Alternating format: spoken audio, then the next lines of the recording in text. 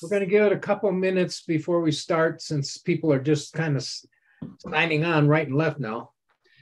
We're just waking up. Hey, I had to get out and shovel this morning. Had a couple inches. Oh, well, good for you. We didn't get anything. It's a beautiful day again. So, we Well, it's kinda- going to turn out nice. Always warms up to about 30 degrees about two o'clock. that's what we love about Colorado, right? Yep. The absolute beauty of it.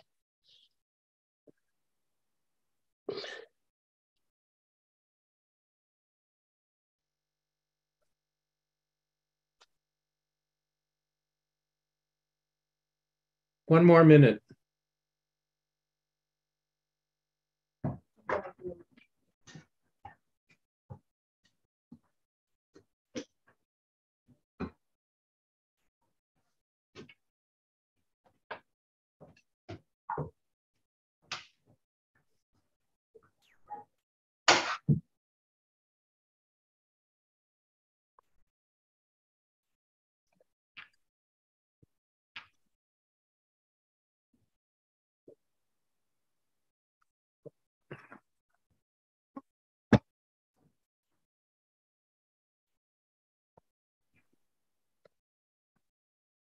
Okay, we've got about 46 people signed on so far.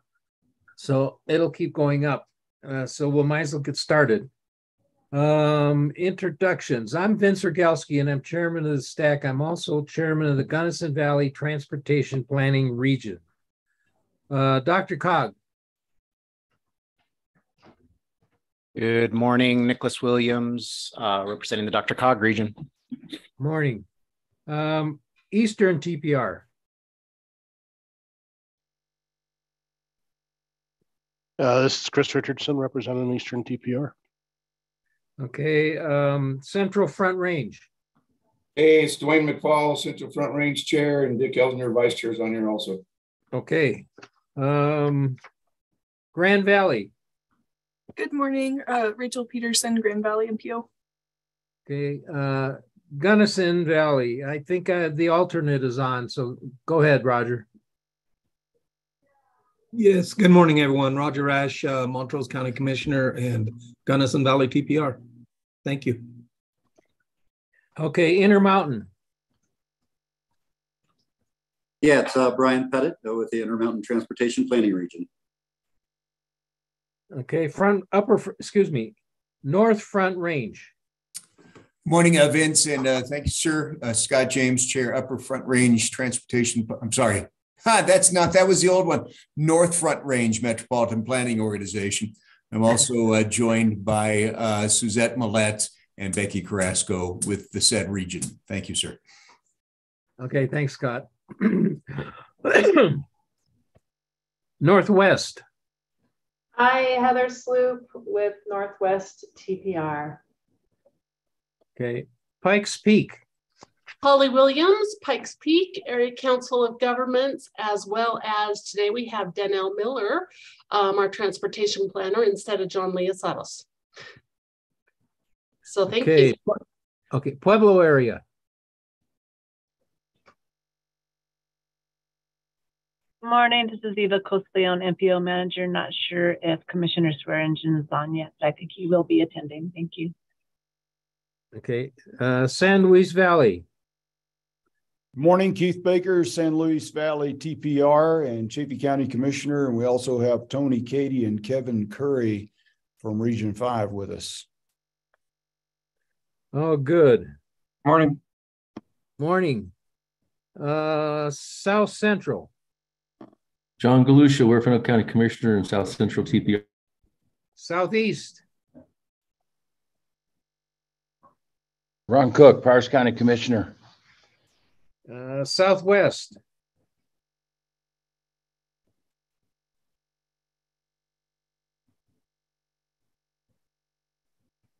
Southwest.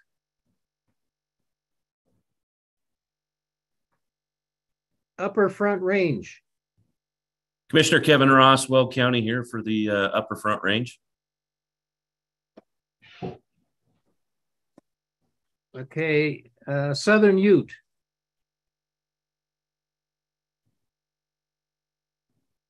Ute Mountain.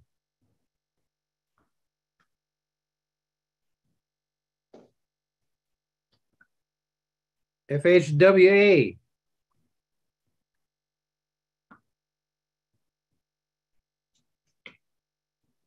FTA. Hi, good morning. Kristen Kenyon, Federal Hey. Transit. Hi, thank, Hey, good morning. Kristen, morning. Okay, did I miss anybody?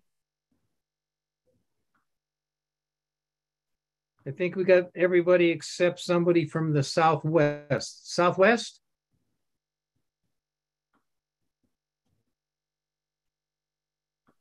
Okay, first item on the agenda is the approval of December meeting minutes. Thought we should have the February minutes.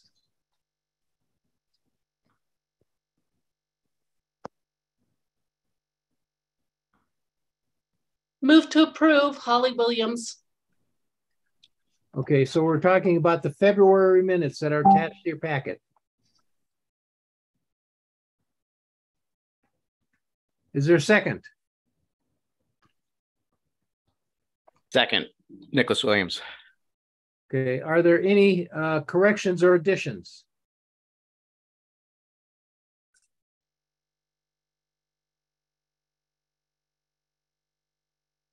Hearing none, are there, are- is there anyone who disagrees with approving the minutes for February 2nd STAC meeting? Hearing none, will consider them approved. Herman? Good morning, Vince, good morning, STAC. Hope everybody's doing good today. Uh, just a quick update. Um, uh, I'll just say Shoshana and our um, comms director, Matt Inzeo, are in DC this week as part of our annual AASHTO, our state organizations fly in and meeting with our uh, members of our congressional delegation. So uh, hope they're having a good trip.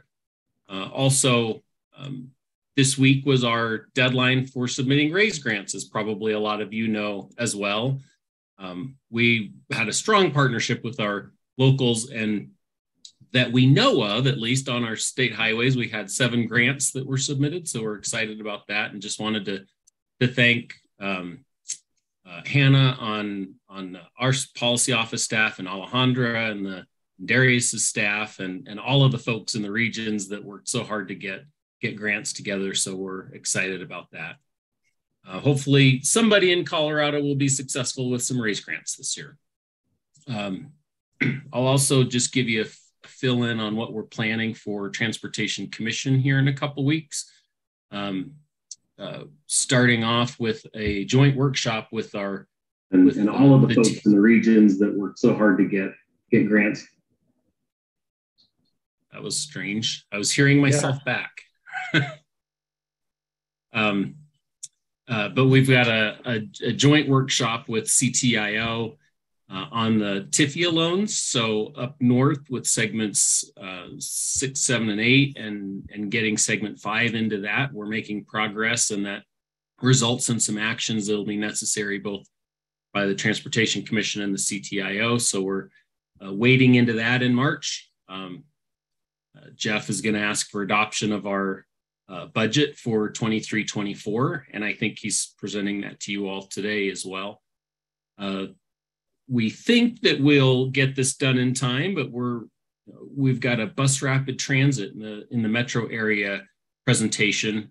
As Dr. Cog knows, uh, their plan and CDOT's 10 year plan has a designated amount of funds for uh, for bus rapid transit doesn't list in our 10 year plan what projects we're actually considering. It just says kind of placeholder 10 year plan with some dollars in it. So uh, Jessica and Angie are going to talk about uh, um, Federal Boulevard, Colorado Boulevard, a couple other corridors, Colfax, maybe 270.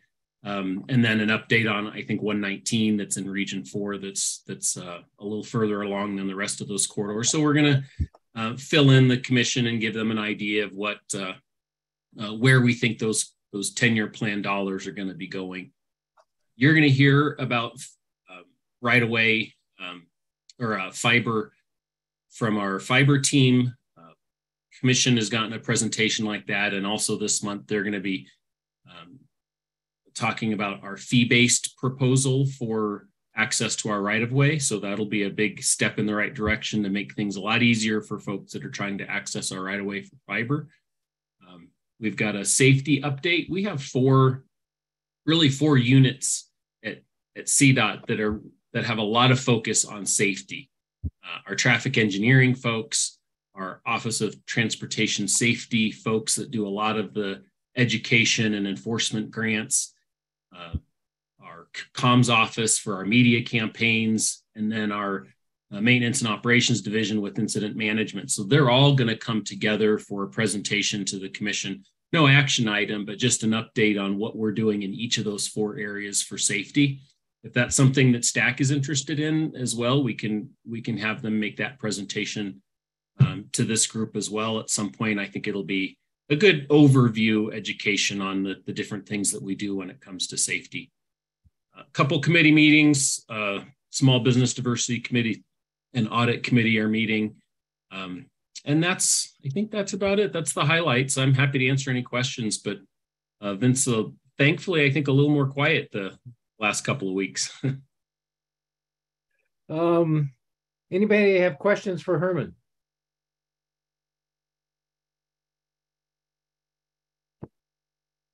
Okay, uh, Transportation Commission update on their meeting they had um, in February. Um, that was uh, February 15 and 16.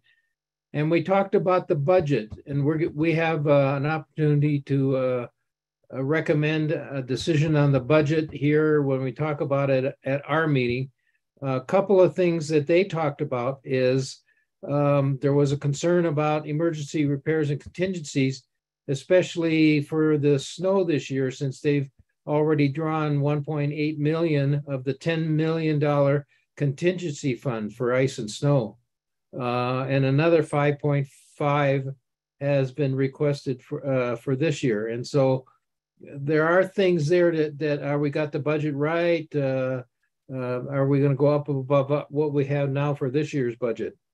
Um, one of the other things is spending more money on avalanche control this year, uh, but only slightly more than usual. Well, we've had a lot of avalanches with a lot of snow, and so we're going to have to spend some more taking care of that stuff.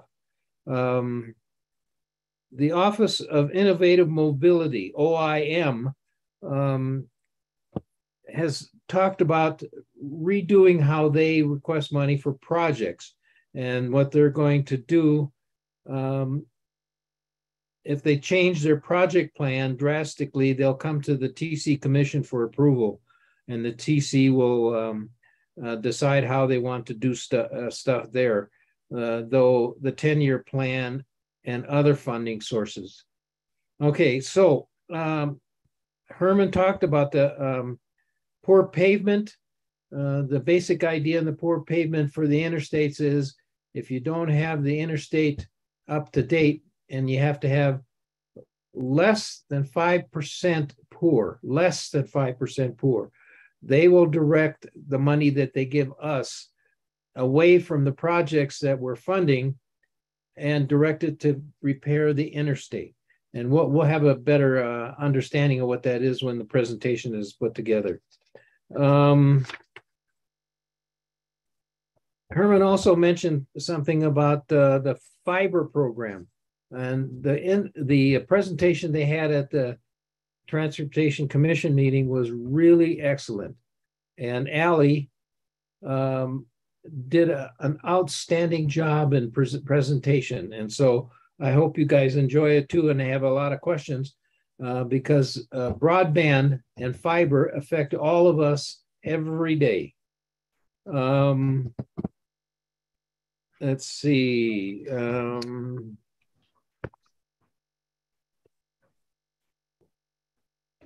I think that's pretty much it. All of the um, um, things on the regular meeting, which happened on Thursday. All the items presented and resolutions were approved. Any questions?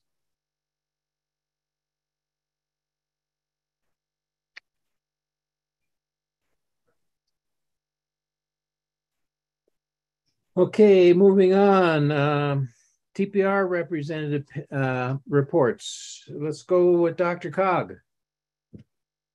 Thank you, Mr. Chair. Uh, so yes, the Dr. Cog board met in February. Uh, one thing celebrated there is uh, winter work to bike, no, winter bike to work day. Uh, estimated about 4,200 folks participated uh, throughout our region uh, with about 53 different stations where folks could rest, refuel, relax, and since it was February, warm up with a nice cup of coffee uh, on there. Uh, at our board meeting, made some committee assignments, including STAC, and I'm going to be able to hang out with you guys for another year, and I will also be joined by Commissioner George Teal of Douglas County, one of my fellow directors on the Dr. Cog board. I do believe he is in the audience today, uh, and he will be serving as alternate, keeping me honest. Uh, board also. Thanks, Thanks, Nick. Appreciate it. Absolutely, George. Glad to have you. Uh, board also adopted our regional transportation operations and technology strategic plan. Uh, I think that will uh, align with uh, one of our topics today on fiber. But really, the purpose of that plan is to make sure that the technology deployment that our region is using is connected, collaborative, both with our local governments and certainly with CDOT. Uh, on there. And then finally, we set uh, federal transportation performance measures for safety, pavement, and bridge condition, as well as travel reliability, uh, all done in partnership with CDOT. End of report. Happy to answer any questions. Any questions for Nicholas? Okay, Central Front Range. Thank you, Vince. This is uh, Dick. Let me get that thing out of the way. Uh, this is Dick Elsner, Central Front Range. Starting to uh, look at getting into some building going on. Uh, Fairplay will be starting in uh, probably a month, month and a half with some preliminary work. So if you're driving uh, along 285 this summer, next fall, winter, and the following summer, uh, fair play is going to be an issue. It's a rather large project with the bridge going on. We've got a couple of things going on Highway 24, so we'll have the same issue there uh, during the summer. We've got bridge replacements that are happening there. Hopefully, the um, chain up station on 9 north of uh, Fairplay will be in uh, construction this year, and then they'll be finishing off the one on uh, 285, just uh, shy of Kenosha on the east side. Um, I want to thank uh, Commissioner Hickey for showing up. We had a a town hall on transportation in the Bailey area because of the uh, Crow Hill issue and, and the trucks tipping over. It was really great to see her out there talking with everybody, uh, trying to get people to understand that yes, we're working on it. there will be a project we hope this summer on that, depending upon uh, where the bids come in. I mean, if they come in uh, ridiculously high, we'll have to rethink it. But I think that's going to be fixed this summer. It's about all I got. You have anything, Dwayne? Oh, you covered it, Dick. Thank you.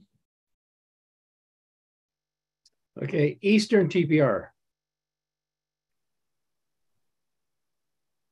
Morning. Um, haven't Morning. had a haven't had a uh, TPR meeting since the last STAC, so nothing to report there. I mean, regionally, we've been dealing with uh, multiple multiple storms, not a lot of snow, but a lot of wind that's been closing state highways. Um, have had a lot of discussions um, internally just on closures and how they're rep- represented on Colorado trips in some areas. Um, uh, the wrong gates on highways have been noted, and um, so it's been causing some confusion amongst uh, local travelers as to exactly what town they can get to. And in some places, we've had some closures where roads have been clear, but um, that's something we'll continue to work. Um, I'll pass it on to Scott Weaver from Yuma, my co-chair. I think he may have something to add.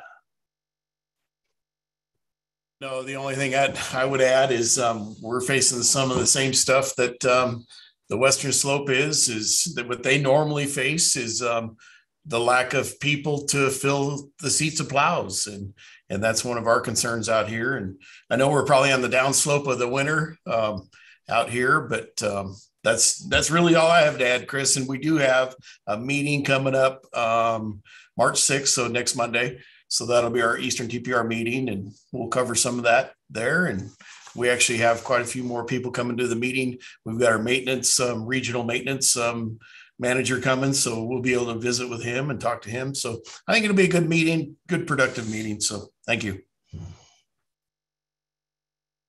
Okay, any questions? Okay, uh, uh, Grand Valley. Good morning, Vince. Um, I'm Rachel Peterson. I'm the transportation planner with the Grand Valley MPO. I'm filling in right now for Dana, who is on maternity leave. Um, so she had a uh, happy baby boy um, this past February, mid February or so. So we're really excited for her. Um, and then the the big news updates from Grand Valley is Greyhound is no longer serving Grand Junction. Um, hopefully, with the mobility hub coming back, we will um, get them back into our community. Um, and then the other point was that the mobility hub will, there's officially a site selected. Um, so we're looking forward to um, working together with Bustang and Greyhound and bringing our Grand Valley Transit system all together at one site. Um, and then we were happy to support CDOT's raise grant for Glenwood Canyon and Cottonwood Pass. that's all I have. If you guys have any questions, thank you.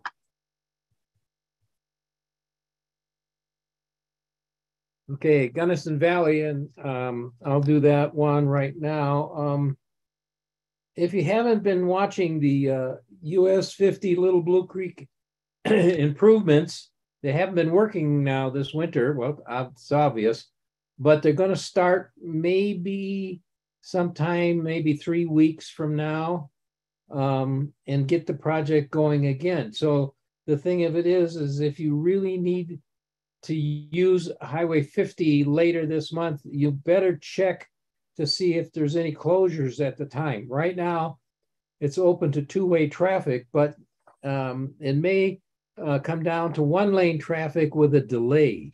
Uh, the last time we had that, there was 15 to 30 minute delays until the um, opposite lane was allowed to go, and then you wait, wait, and then you'd go your your turn, so on, so on.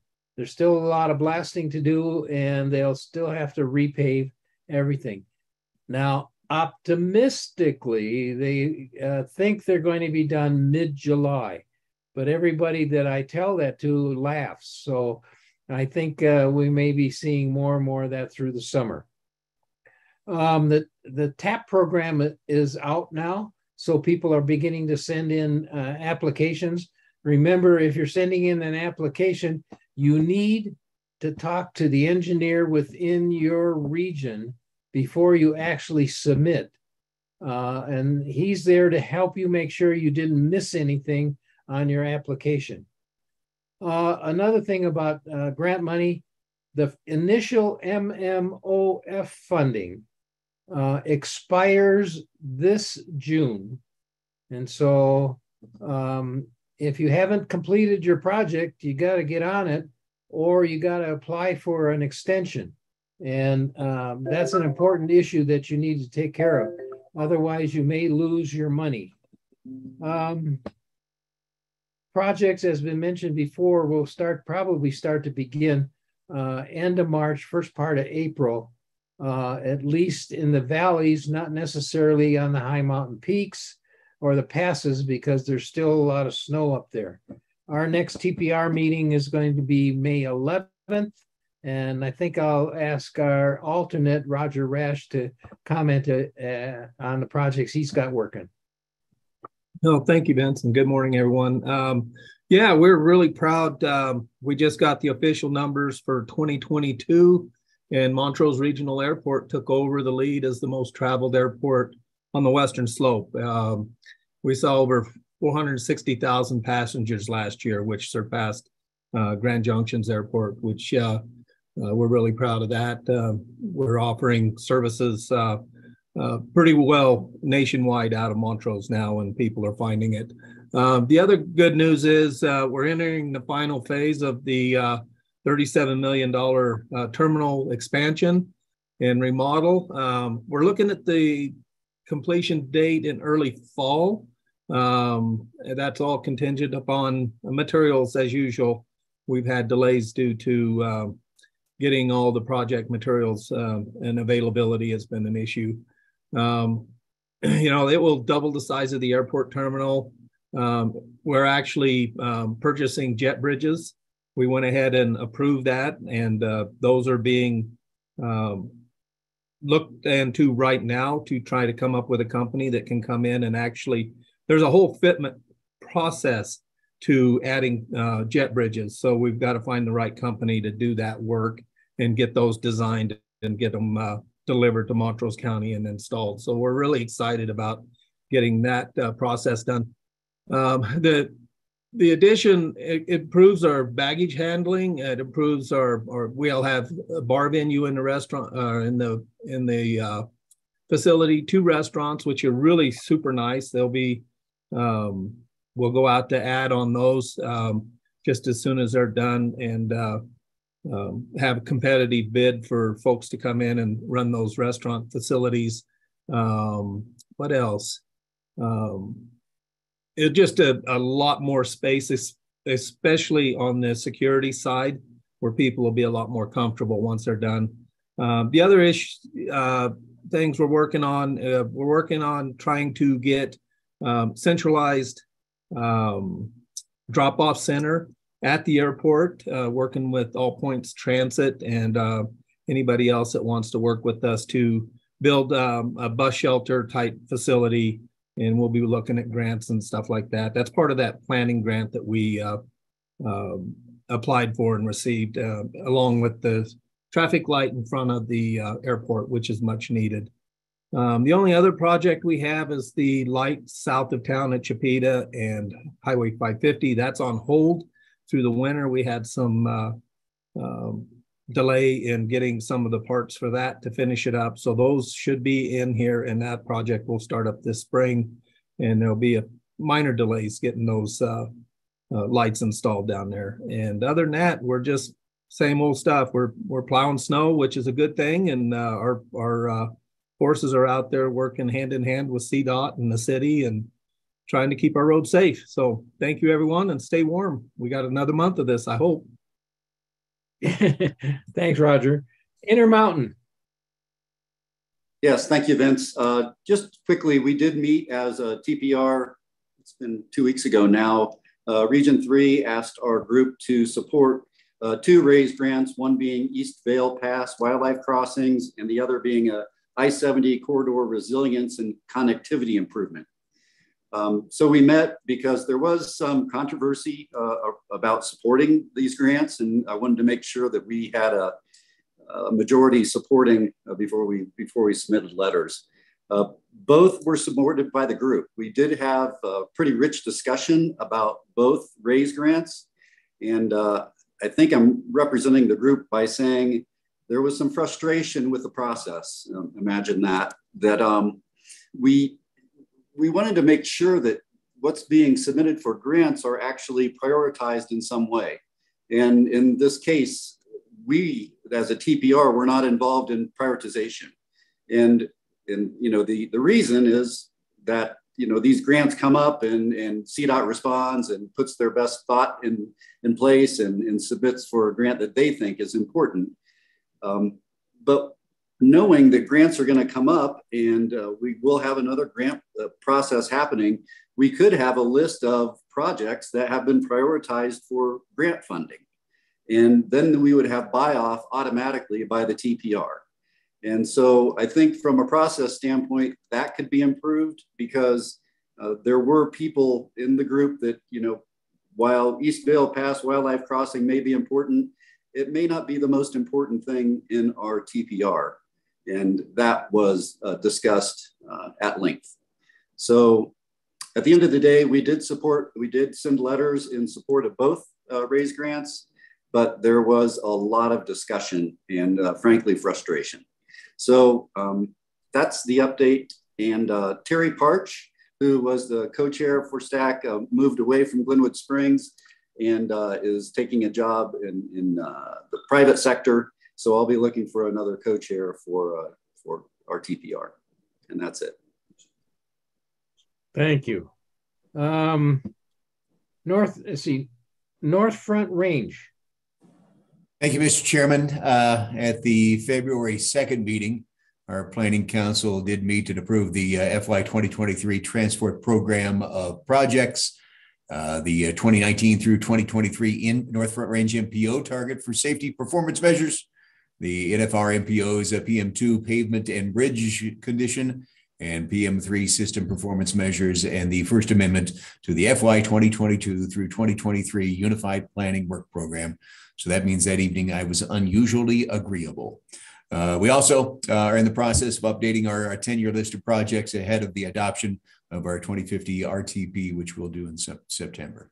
Uh, we meet tonight, uh, and uh, so it's Transportation Day for me. Thanks, Vince. Thank you. Uh, now, you weren't reporting for North Front Range, were you? Yes. You were. Did I go ahead of time? No, you you did fine. Okay. Thinking of the Upper Front Range, which Yeah, Kevin will do that in a sec. Okay. Um, Northwest. Um, oh, hold on, hold on.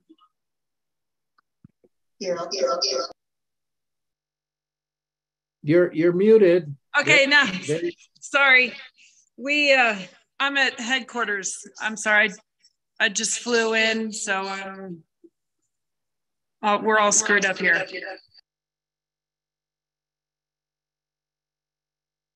Yeah, the sound system's not working. Turn off yours.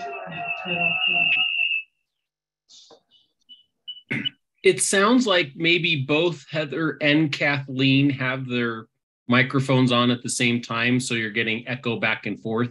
If you just use one of them on and the other one is completely muted, that might work. Turn yours on. I'm on. Can you hear me? I ca- yeah, Kathleen's is on. There you are. Okay, so hi, I'm down at headquarters because I just flew in. Um, we have not had a TPR meeting since our last meeting, but we did, um, uh, Grand County did submit a RAISE grant, which was in full support throughout our, uh, communities in our region. So we are very hopeful that that gets, um, supported because it's very significant for our US 40 corridor, specifically in Grand County for Red Dirt Hill and the passing lanes through Kremmling. Um, other than that, we are just trying to stay out of snow world and hoping for a smooth and steady melt so this water can actually use be utilized in the right way. Thanks. Okay, um, Pikes Peak area. Holly.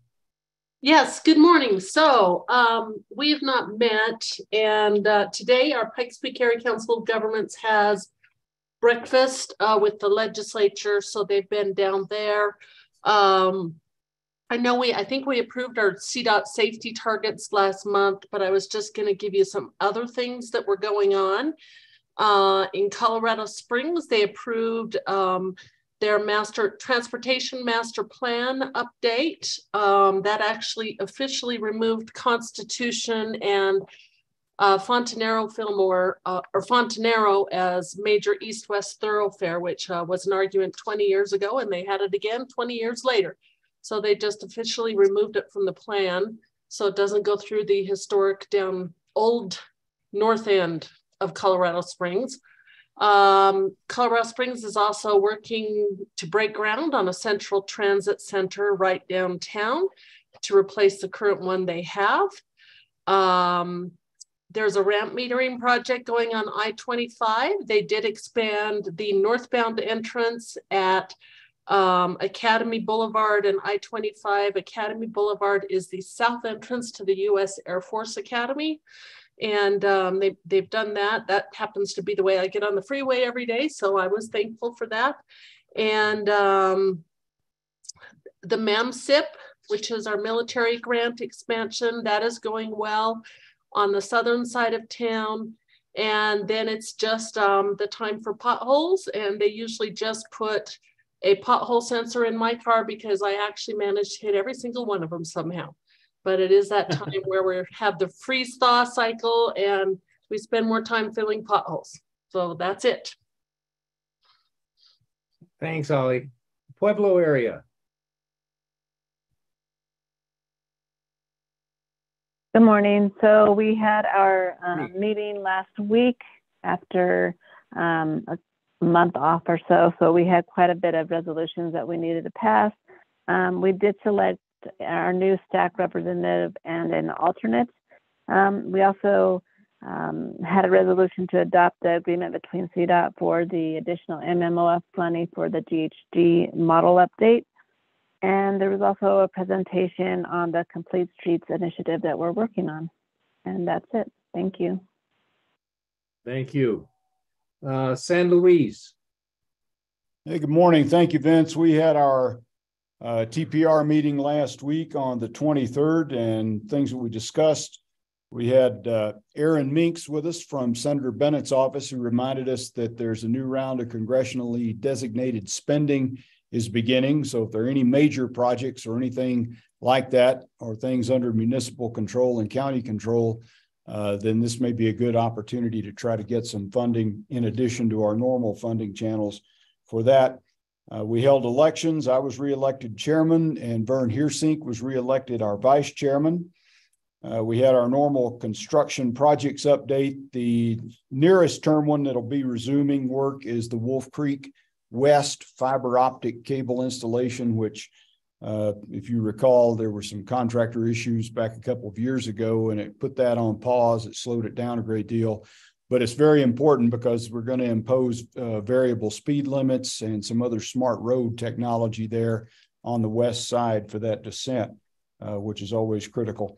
Then a bunch of things that are going to add and coming up chain station upgrades, uh, some intersection improvements, and something that uh, kind of fell out of the sky and we'll always take it. It looks like there's going to be an opportunity to do some significant resurfacing on US 285 from Poncha Springs almost all the way to Johnson Village. Uh, there will be a short segment there on the north end of that that may not receive resurfacing because it uh, was done a few years ago when we widened it out, put some accel decel lanes and twiddles in there, and did some resurfacing also. Um, let's see, another big thing, we had a discussion about what local communities are doing with their ARPA money, the IIJA or the bipartisan infrastructure law, uh, IRA, and even the CHIPS Act probably has some things in there uh, about how to stack those funds and how to, uh, I think, uh, uh, I've heard it said uh, borrow and blend and everything, but assemble these different pots of money to make a good project budget from.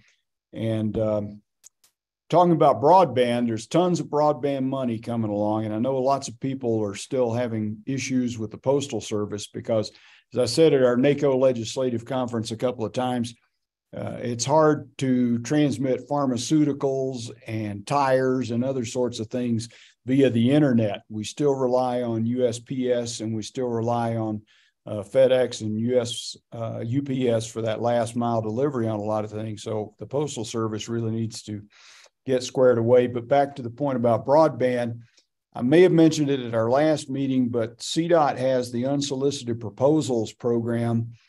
Uh, there is a project which appears to be uh, still progressing, albeit fairly slowly, by a company called Arcadian to install uh, fiber optic cable from somewhere in the southwest up across Poncha Pass and then on down to the big switch in downtown Denver. And this will probably give us an opportunity to extend some fiber optic cable up Monarch Pass from that. So I know one of our local companies is uh, submitting a CDOT unsolicited proposal project for that. Uh, we're having a transit meeting here in the Chaffee County Courthouse tomorrow to talk about uh, improving our Bustang service and our local transit service that feeds into Bustang and how we can better coordinate that and what we can do on our end. I know there have been some issues about overnight parking with some of the Bustang coaches because they get cold at night, they can't start. Uh, we do have some maintenance shortfalls down here on our end. We don't have very large vehicle uh, diesel services that are readily available. So what can we do to help facilitate those services and make them work better? Our next TPR meeting is on May 25th, and our CDOT annual meetings uh, are beginning soon. I think ours in Chaffee County is going to be on March 29th. That ends my report. Thank you. Thank you. Um, South Central. Good morning, everybody. Uh, we have not had a meeting since our last uh, meeting here, but um, I do have a couple updates. One is that on March 22nd is slated to be our grand opening for the Bustang outrider system, the Trinidad to Pueblo run. Um, so that um, has been, it keeps getting kicked back, but I think the March 22nd is the final date. So we're looking forward to that. Uh, additionally, Wharf, Huerfano County received a Main Street grant for the Gardner Pavilion and a vault toilet. And um, we've been working with the Scenic Highway of Legends Board of Directors and as they're developing some events um, that could be taking place over the summer and fall, as well as next winter. So um, that's all I have. Our next meeting is um, likely to be in April. Thank you. Thank you. Southeast. Okay, I just got a couple updates. Um, Highway 50, uh, Highway 71, exchange construction is going to start um, April to March in Rocky Ford. Uh, Lamar's 287 project from Parkway to Savage. Um, they're finishing that up and then they'll start on the second phase. We'll go from Parkway to Park. And we should have a TPR meeting in a couple weeks. So I have more to report next time. Thank you. Okay. Um, Southwest there, Sarah. Yeah, good morning. Sorry, both uh, myself and Jim Candelaria were a little tardy this morning. Sorry about that. Okay. How's how's the little one? Uh, she's awesome. That's why I was tardy. okay. um, we had our TPR meeting February 9th and did election of officers. I was reelected as chair and Commissioner Candelaria was reelected as vice chair. So we will be the STAC representatives for um, the next year. Uh, we heard a request to add a project to our 2045 um, transportation plan, uh, which is a bicycle and pedestrian shared use path and it's going to connect a small community um, called Hermosa to Durango. We did approve that to be included, um, which led to a good conversation about how projects do get amended and added to the plan, and then the equity of spending within our region. So um, our region staff is going to give us an update of that planning process at our next meeting for our new TPR uh, representatives ahead of getting into the update to the 2050 plan. Um, we approved a letter of support for La Plata County's RAISE grant application. They're submitting in coordination with Region 5 uh, that would make improvements to Highway 160 East between Durango and Bayfield. And that that corridor, that section of the highway is uh, identified as a level four safety of service. There's a lot of traffic moving through there, uh, and it hasn't been upgraded, you know, for decades. So um, we're we're hopeful that that project will get selected. And then there were really great operational updates from all of our um, all the representatives, construction update from the regional staff, and we're staying busy down here. That's all I've got. Thanks, Sarah. Um, see, Upper Front Range.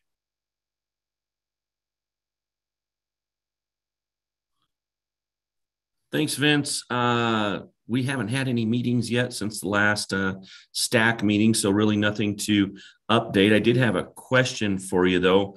Uh, with the reports and stuff, it seems like there's been a, uh, quite a bit of turnover uh, in DTR, and I just was wondering if you guys had a timeline uh, for when DTR would be contracting the MMOF projects. So um, MMOF, uh, oh, contracting them. I see. Um, you have to talk to your local region person. So that's the best I could tell you. All right. Thanks, Vince. Okay. Uh, Ute Indian.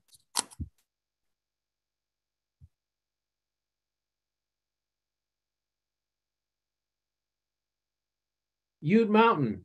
Ute Mountain. Thank you. Yeah, there is two Ute tribes, Southern Ute and Ute Mountain. Yes. so I got selected to be on the STAC. I'm actually the chairman of the tribe also. So I've been on STAC before. Um, we did pass it by resolution. Uh, report from Ute Mountain Ute Tribe, our 491 project from Aztec Wash to Four Corners. That's still in progress through CDOT. I think they finished up uh, early uh, winter, late fall. They still have a little bit more um, stuff to do on there, especially the scouring at the bridge of San Juan. Um, we have issues a little bit, concerns from Ute Mountain on the right of way maintenance agreement. We do have a current maintenance agreement right now, but up north of um, 491 off the reservation on the north side there, I don't know what mile marker it is, we do have a lot of elk crossing right there. And I don't know if there's been any CDOT picking up any of the elk, but signage would be good, especially when the elk are going across 491 there north of the reservation line. Also, we've been addressing to our maintenance crew potholes um, along the 491 corridor. 160 seems to be okay. 41, we need to do an assessment on it on conditions of the asphalt. It has a very small shoulder on each side. Uh, we have been asking maintenance from CDOT to do mowing. They don't do mowing all the way around the right of way. So they do mowing on 491 down to a certain extent. That's why I'd really like to address the maintenance agreement again. And then we've always brought up the issue about uh, Mike Wash and 491 uh, traffic light there. we are getting overwhelmed with 18 wheelers coming into the travel center, and traffic is getting really congested there. So I asked maybe CDOT or or somebody to get a count again on how much traffic is coming through there to really justify a, a street uh, street light there the cattle guard is also an issue, and I know we talked to CDOT about it. Is they want the tribe because it goes off of the right of way to fence it so no animals go in. I'd like to talk to you guys a little bit more about that. Some of the fencing all the way around on the right of way of 491, 160, and 41, as is in every place across the state. Some of it is pretty old. Uh, if uh, livestock, a horse or a cow leans on the fence, it snaps and breaks. And that's what happened to one of my cattle personally on 491. And it took me a year to get compensated for that cow. At first, they said that they wouldn't compensate me because that's what's written in the agreement, but that's totally different on a government to government. Colorado Department of Transportation asked for this right away to come through. So we granted it.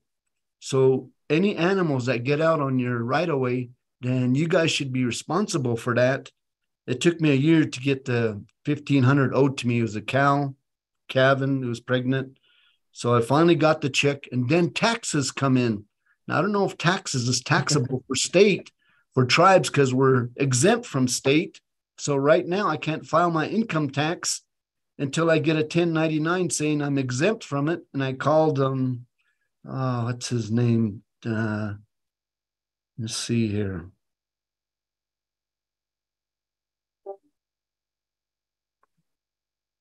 Jeffrey Sudmeier about trying to address this. So that's still an issue for me personally. That do I really pay tax on taxes on something that's within the reservation boundary? I don't. I'm exempt from state taxes, so that's something else I'd like to bring up to STAC here because it pertains to transportation they keep referring me to other departments, but it comes right back to uh, our transportation department, state of Colorado. Um, let me see what else. Uh, as we start to look at what we've done on 491 from the state line from New Mexico all the way up to the north side, it's been pretty much replaced. It's okay. Um, from 160 all the way down to Four Corners, we're working on that. Uh, when do we expect to see some kind of analysis on 41 going toward the Utah state line? So those are my concerns.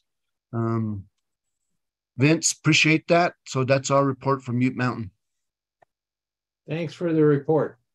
Uh, I don't know if Jeff, are you on?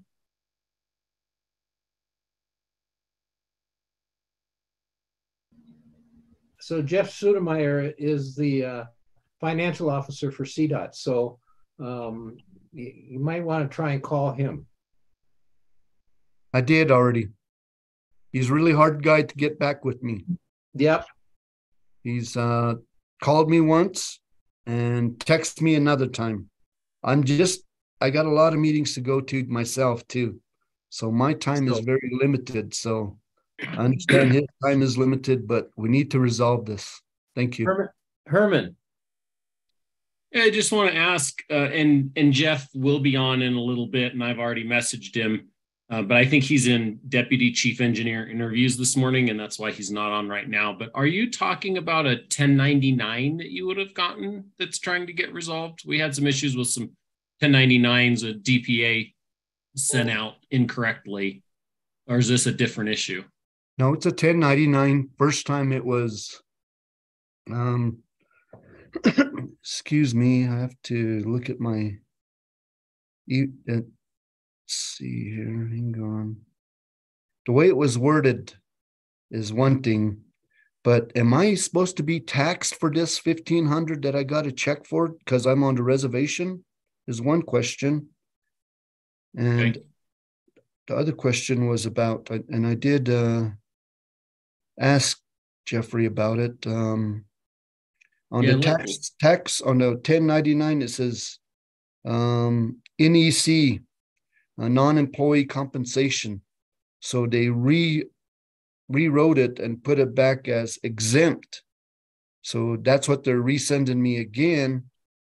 If if that's if I'm exempt from that or not, I don't know. Yeah, if if you've got a pen and paper, let me write write down my cell phone number and maybe if you can send me a text with your number uh, Jeff and I will make sure that we talk to you before the end of the day. Uh, it's 720 810 6934. Okay. And send me a text with your contact information and we'll try to get this resolved today for you. Thank you. You bet. Thanks, guys. Um, F- FHWA, Hey Vince, this is Bill Haas. I don't Hey Bill. think John Cater is on. Um, I don't believe so.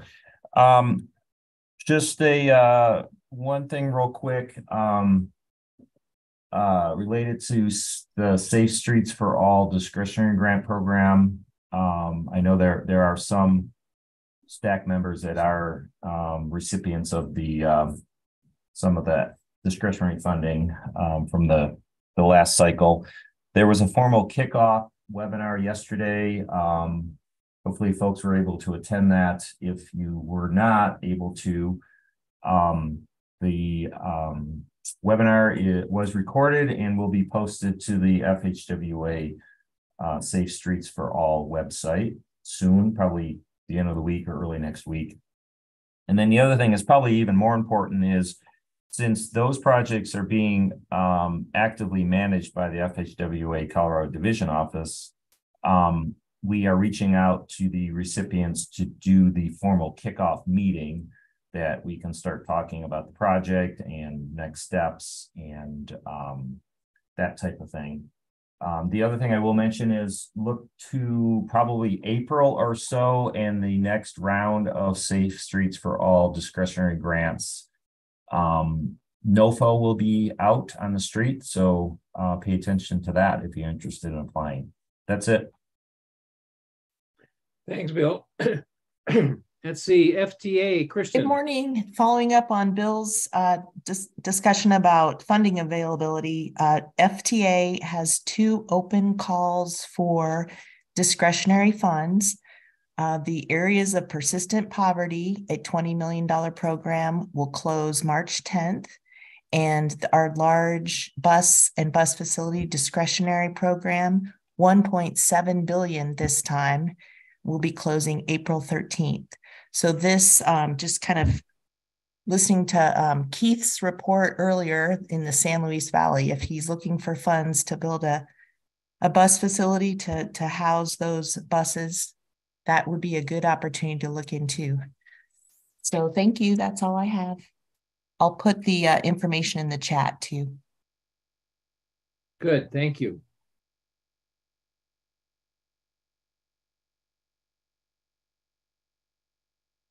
Did I miss anybody?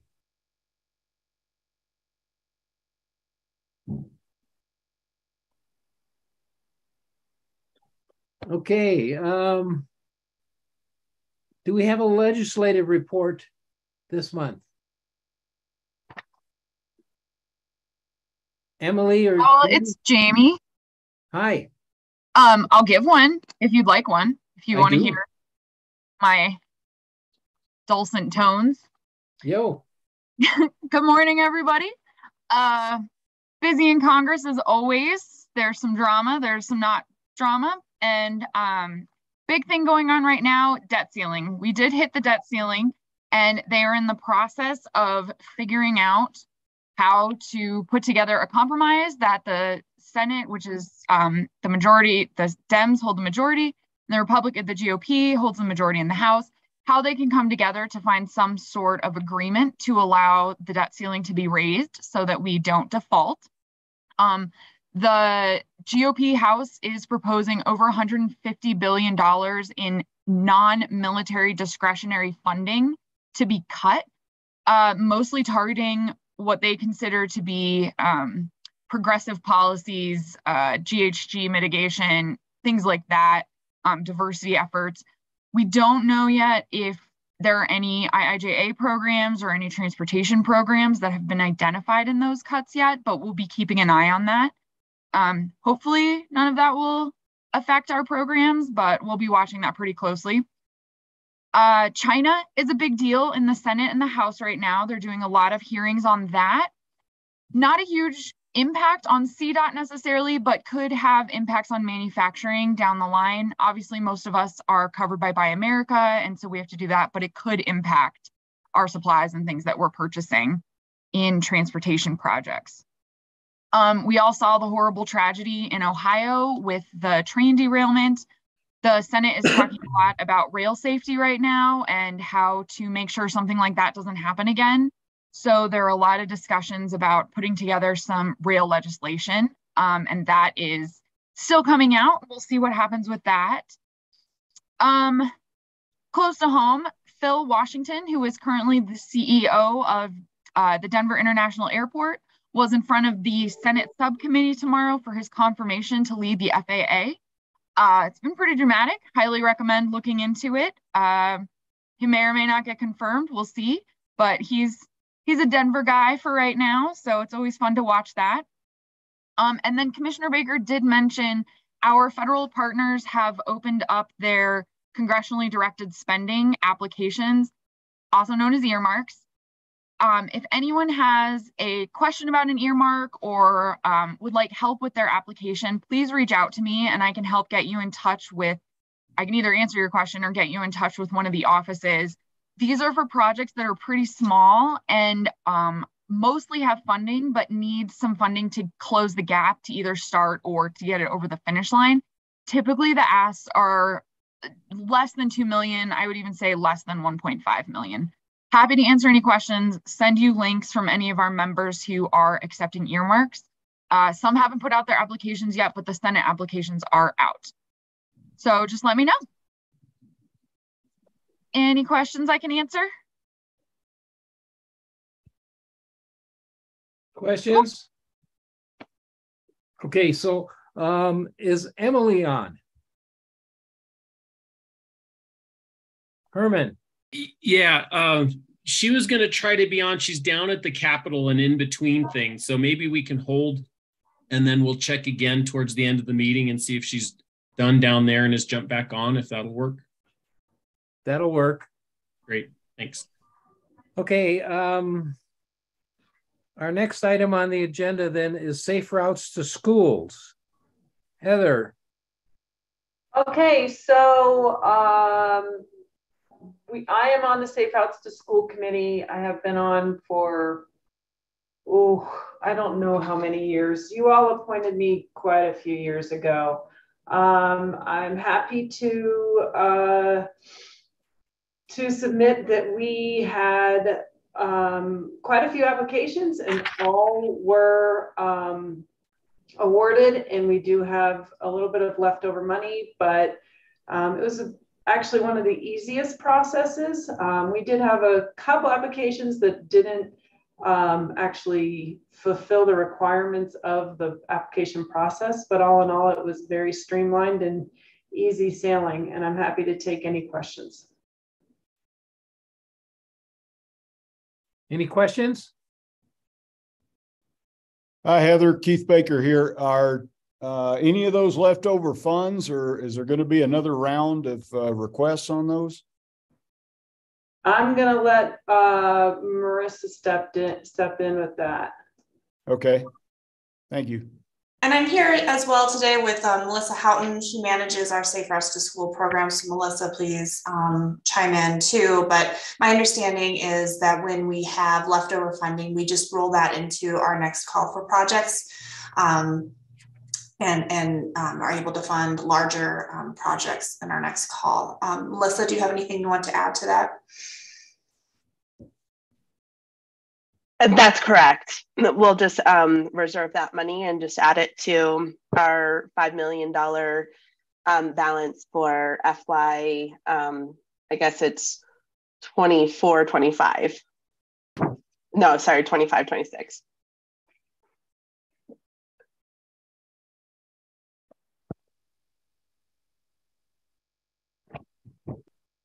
Other questions? Let's see, Nicholas. Thank you, Mr. Chair. Uh, has there, I guess maybe first question building on Mr. Baker's question there. What, what, what is the, I, did I hear 25, 26 for the, for the next call? And has there been any thought, you know, I think these are uh, very important funds funding a lot of very important projects. Has there been any thought of doing a, a just a second call on this, maybe six months from now?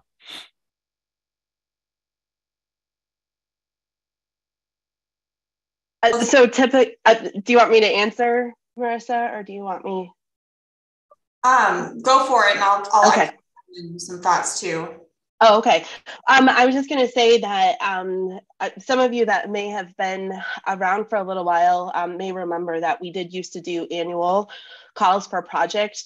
And then um, in FY19, the committee had made the strategic decision to move to the every other year um, call for projects.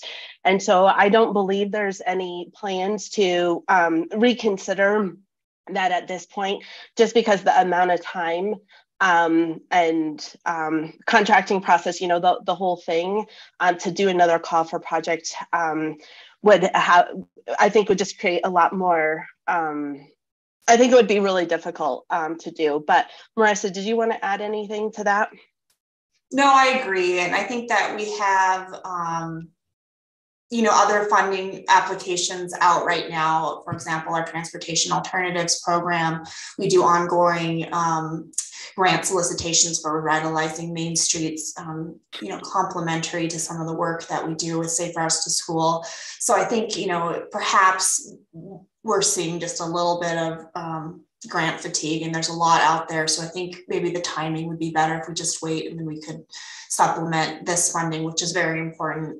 Um, would probably be better served if we waited just a little bit longer. But agree with everything Melissa said as well. And I'll just add in as a a Safe Routes member. I think this is my second or third round of this, and third actually. So I've been doing this for six years.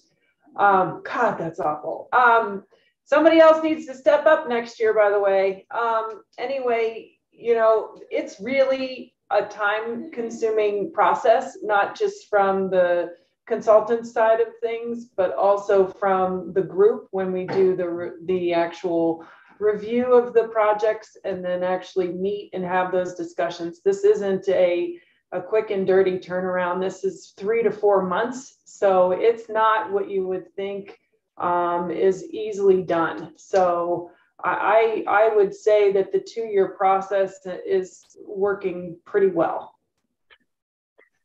understand all that makes a lot of sense. I, I just hate to leave, you know, over $2 million on the floor, but understand where you guys are coming from. Thank you. Scott. Thanks, Vince. I'm, I'm curious with these funds, you know, our, our small municipalities are, are really reliant on these funds. I think of, for example, Milliken right now in uh, the North Front Range, they're putting together a project request uh, uh, that has to do with an, like a CDBG request for an ADA ramp. And I'm curious as to whether the, the, the measure that's being inserted in, in a lot of legislation uh, around uh, disproportionately impacted communities is is that something that is being considered when it comes to this funding or uh, I, am curious because this money is so important to the smaller communities. A lot of those smaller communities in Weld County are in those uh, uh, disproportionately impacted census blocks. Um, I can offer, and I can maybe let Heather talk about how maybe the the, the nine member Safe Routes to School Advisory Committee thinks of that when they when they are scoring the applications. I can't speak to that since it's not a CDOT scored um, applications, but for one thing on the CDOT side that we did do um, this cycle is we aligned the Safe Routes to School program with the MMOF um, um, uh, reduced or limited, we eliminated the match rates consistent with um, MMOF um, for communities so that um, DI communities um, do not have to put up um, the 20% um, match if they, if they fall into that criteria consistent with the MMOF. Heather or Melissa, do you want to add on to that with other thoughts? I mean, I, I don't think that there is a a hurdle um, like there used to be with the safe routes um, funding. And I think the hardship is getting the application submitted and having it be complete. I know Melissa does an amazing job with, you know, circling back, making sure they're answering all the questions, making sure that there's a lot of pre-work before the application deadline. As I said, this is an extensive application that we review. So ensuring that there's a lot of pre-meetings before the submission and making sure that it's quite thorough. Um, you know, I, I, I agree, Commissioner James, when, you know, I live in a community that has a lot of, you know, smaller, smaller areas that could really benefit with this. And it's a matter of getting these communities to apply. And it's almost, you know, through in the past we've looked at some of these applications and gone, wow, they have a great grant writer. What about the little guy that doesn't have anyone? And how do we ensure that these guys get into the process as well? And so I think with what we've done with MMOF and, decreasing the match has definitely helped and is, is hopefully opening that window with uh, Melissa's help to guide them through the process better to get more applicants who are disadvantaged to apply and realize that they're more than likely going to get the reward. Well, and Heather, let me ask, let me chime in there. I'm confused as to why we're leaving two million bucks on the table. I look at, you know, my little community by me of, of Milliken. Uh, was their application DQ'd? I, I, are we reaching back out to them and saying, hey, we got $2 million left and this was a little funky with your application. Can we help you fix it? I, I guess that's, that's my curiosity there. I mean, Melissa, do you want to chime in? Sure. And I'm sorry, my video, I it says that it's on and it's not showing me. So, um, but anyway, yeah. So um, I think what the committee um, and Heather, you know, if she wants to add any more to this, when we're reviewing applications, um, I think you know first there's that technical review to make sure that the application does um, meet all of it contains all of the information that we're asking. And so you mentioned about Milliken, that was not the case with the Milliken um, funding. They were not disqualified. Um, they had information um, that met, um, I guess, sort of the, the benchmarks. So go ahead and be reviewed. Um, but you know the committee goes through all of the applications they score each sections then we average the scores and certain projects just really rise to the top and other projects you know tend they are scoring lower and so um, the committee then makes a decision when looking at the projects. Is it something that is pretty minor um, that I would reach back out to the applicant and say, you know, could you clarify this or are there um, certain things that they requested that are ineligible that um, the committee is going to remove from their project. And so if that's the case, you know, I let the applicant know that the advisory committee is interested in their project, but they may find certain things that are ineligible, whatever it may be, would the applicant like to continue to move forward?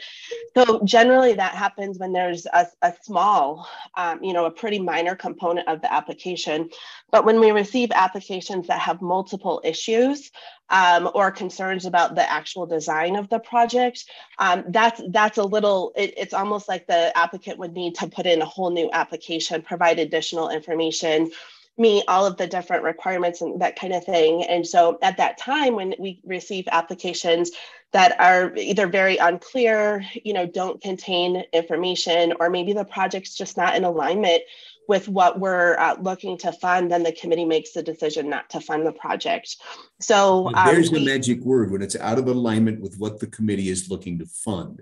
Is it arbitrary? Is that laid out? I, you know, I look in, in this particular instance, Milliken's not getting any money. Uh, Boulder, which is not disproportionately impacted and uh, really doesn't have a problem with, with funding, is, is getting funded. I, am just curious to compare the contrast to the two. These small municipalities that I'm kind of fighting for here in, in, in Weld County, it's so hard for them to cobble together money. So when there is an opportunity in a program like this that is conducive to that, I'm, I'm just curious as to, to, to why. Yeah, yeah. Um, so you know, to I guess answer your first question, um, most definitely there it, it's not arbitrary. I mean, there are specific um, you know, like we um, i was going to say specific rules that a community needs to um, uh, agree to for our funding um, uh, though the actual application if you went into our grant instruction manual it provides an incredible amount of detail as far as how each application is going to be scored. So we do provide a funding matrix um, that applicants can look at and say, okay, this is where they're going to get receive points for, um, you know, X, Y, and Z, whatever it may be in their project. So um, I would say that I, I feel like in the time that I've been with the committee, this is my second um, grant application cycle um, in, in this role with the committee. And I, I really feel that everybody really would like to award this money out um, to any of the projects. Um, we work really hard to try and work with communities, um, but there are just instances when the project just has concerns all around um, that the committee makes the decision not to award it. And I think um, we do that because I, th- you know, when these projects if we were to you know put the project in um, and then there are issues you know that creates that continues it's a whole cycle right? Like in each of the regions. Um, so unfortunately there are projects that um, just don't get funded um, don't um, meet the criteria that that's needed um, to be funded and and you're exactly right we do have money that we haven't awarded this cycle. Uh, but I, I think that the advisory committee would say that they feel really um, good about the projects that they are funding and that there were concerns about the projects that they weren't funding and they didn't feel that they would be doing their, their role if they were to fund some of these projects with the level of concerns that were um, apparent. So you'd rather leave $2 million on the table and not reach out to those communities. I, I guess I'm, I'm really confused by that. Yeah, I um you know, I we don't I don't think any of us like are are happy like, oh well we have some money um that are left over. Um typically we do um award all of our funds. Uh, but I, I do think that we would have to look at like the the um, essentially the fairness of it. So we've never historically gone back to any community and say, here's an opportunity for you to completely redo your application and you know do all these things um, to to apply or for us to reconsider it. It just isn't how how the committee has operated um, in the past and um, you know the, the funding isn't necessarily going away as we said that it would be um, moved to our next um, next next cycle in that two years that we wait, the kids that are walking to school in that middle school without sidewalks.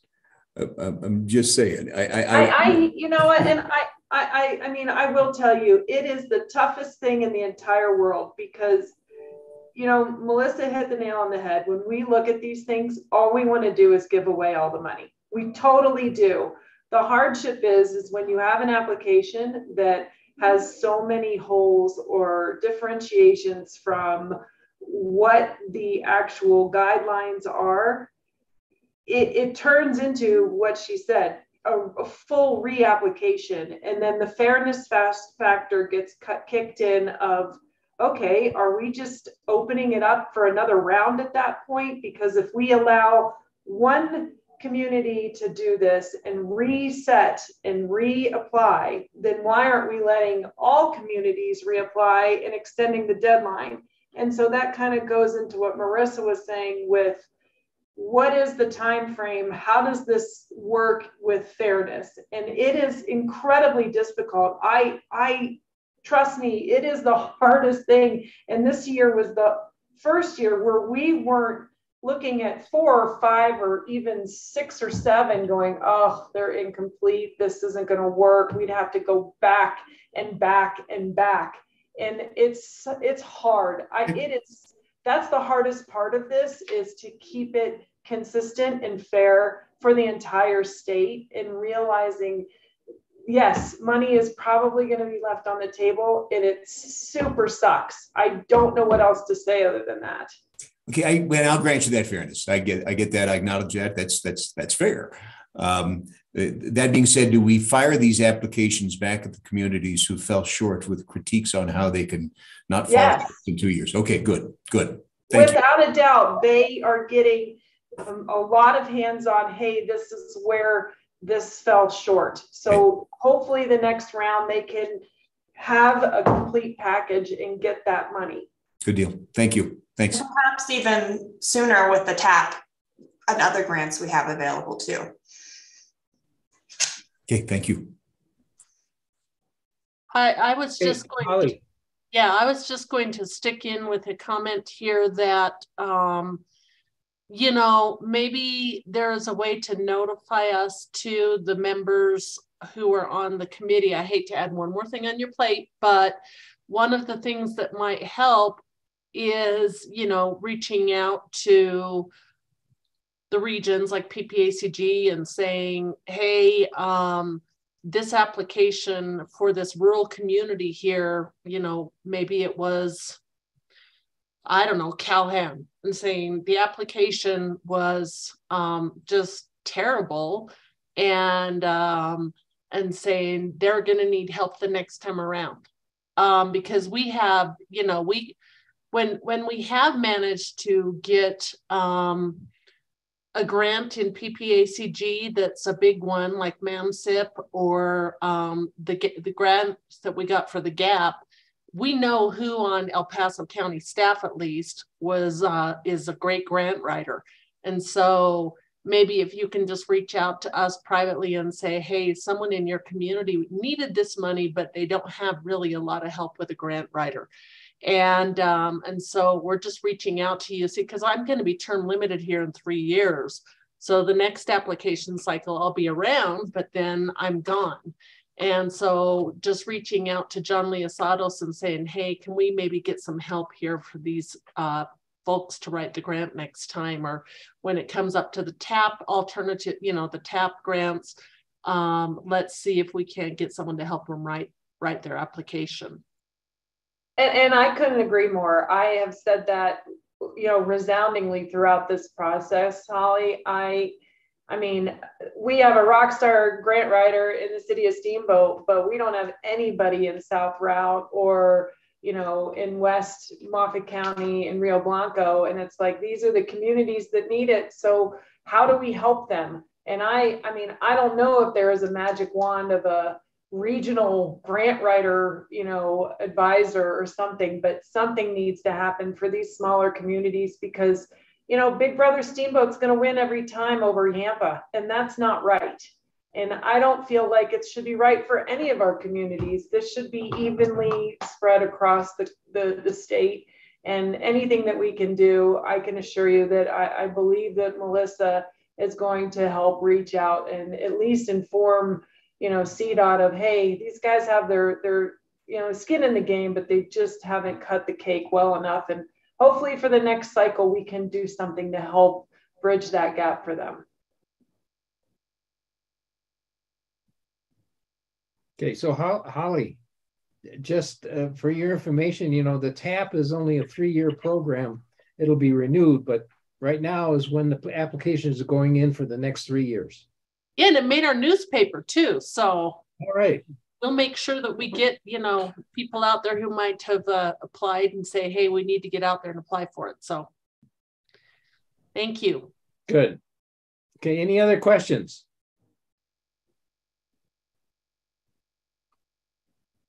Okay, so it looks like we're at break time. So let's take a 10 minute break. So we'll come back at 10.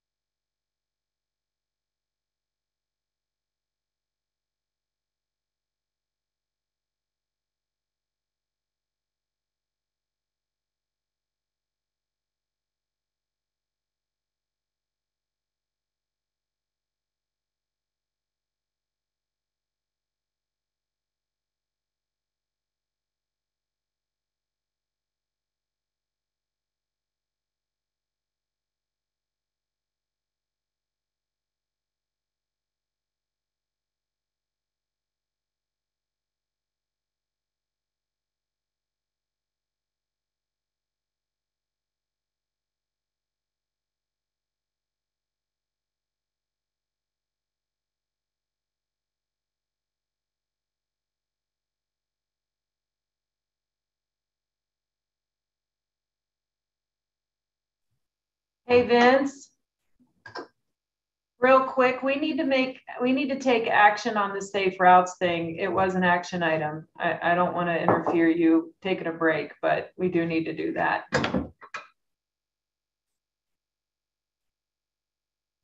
We can't hear him anyway. He's.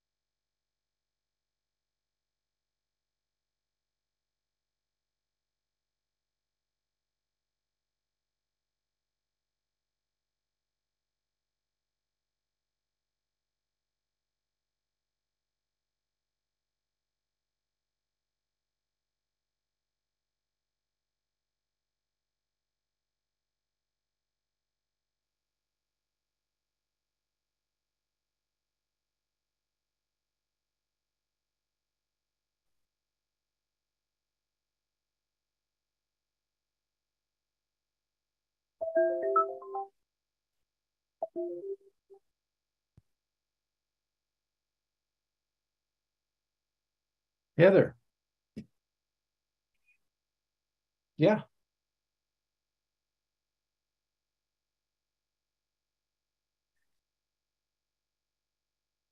Okay, we can do that. All righty. Bye.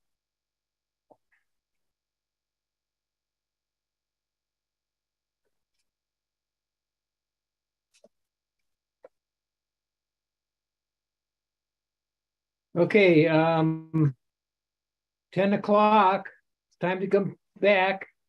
We're addressing uh, right now um, poor interstate pavement, and we need to provide a recommendation to the committee, uh, to the uh, Transportation Commission.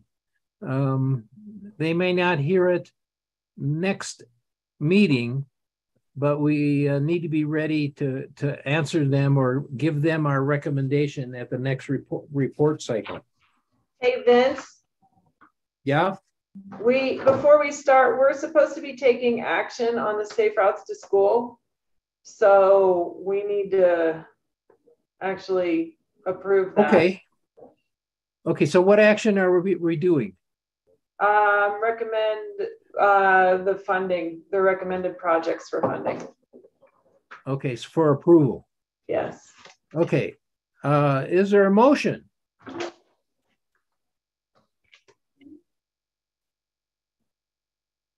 Is it is there a motion to recommend approval of the funded uh, Safe Route to Schools recipients? Holly Uh, oh, Williams, What? Holly Williams, so moved. Okay, is there a second? second, Brian Pettit. Okay. Further discussion? Hearing none, is there anybody against? Hearing none, the motion is approved. Got it, Heather? Thank you. Okay. Okay, so now we're moving on to the poor interstates. And, uh, William Johnson is away right now, and so we have a different presenter. Yes, thank you. I'm Toby Manthe with the Asset Management Program at CDOT, and I'll be presenting uh, today. Okay, thanks, Toby. Okay. So, um, good morning, committee members. We are happy to be here today to give you an overview of really a new strategy we have for addressing some of our more troublesome interstate pavement sections.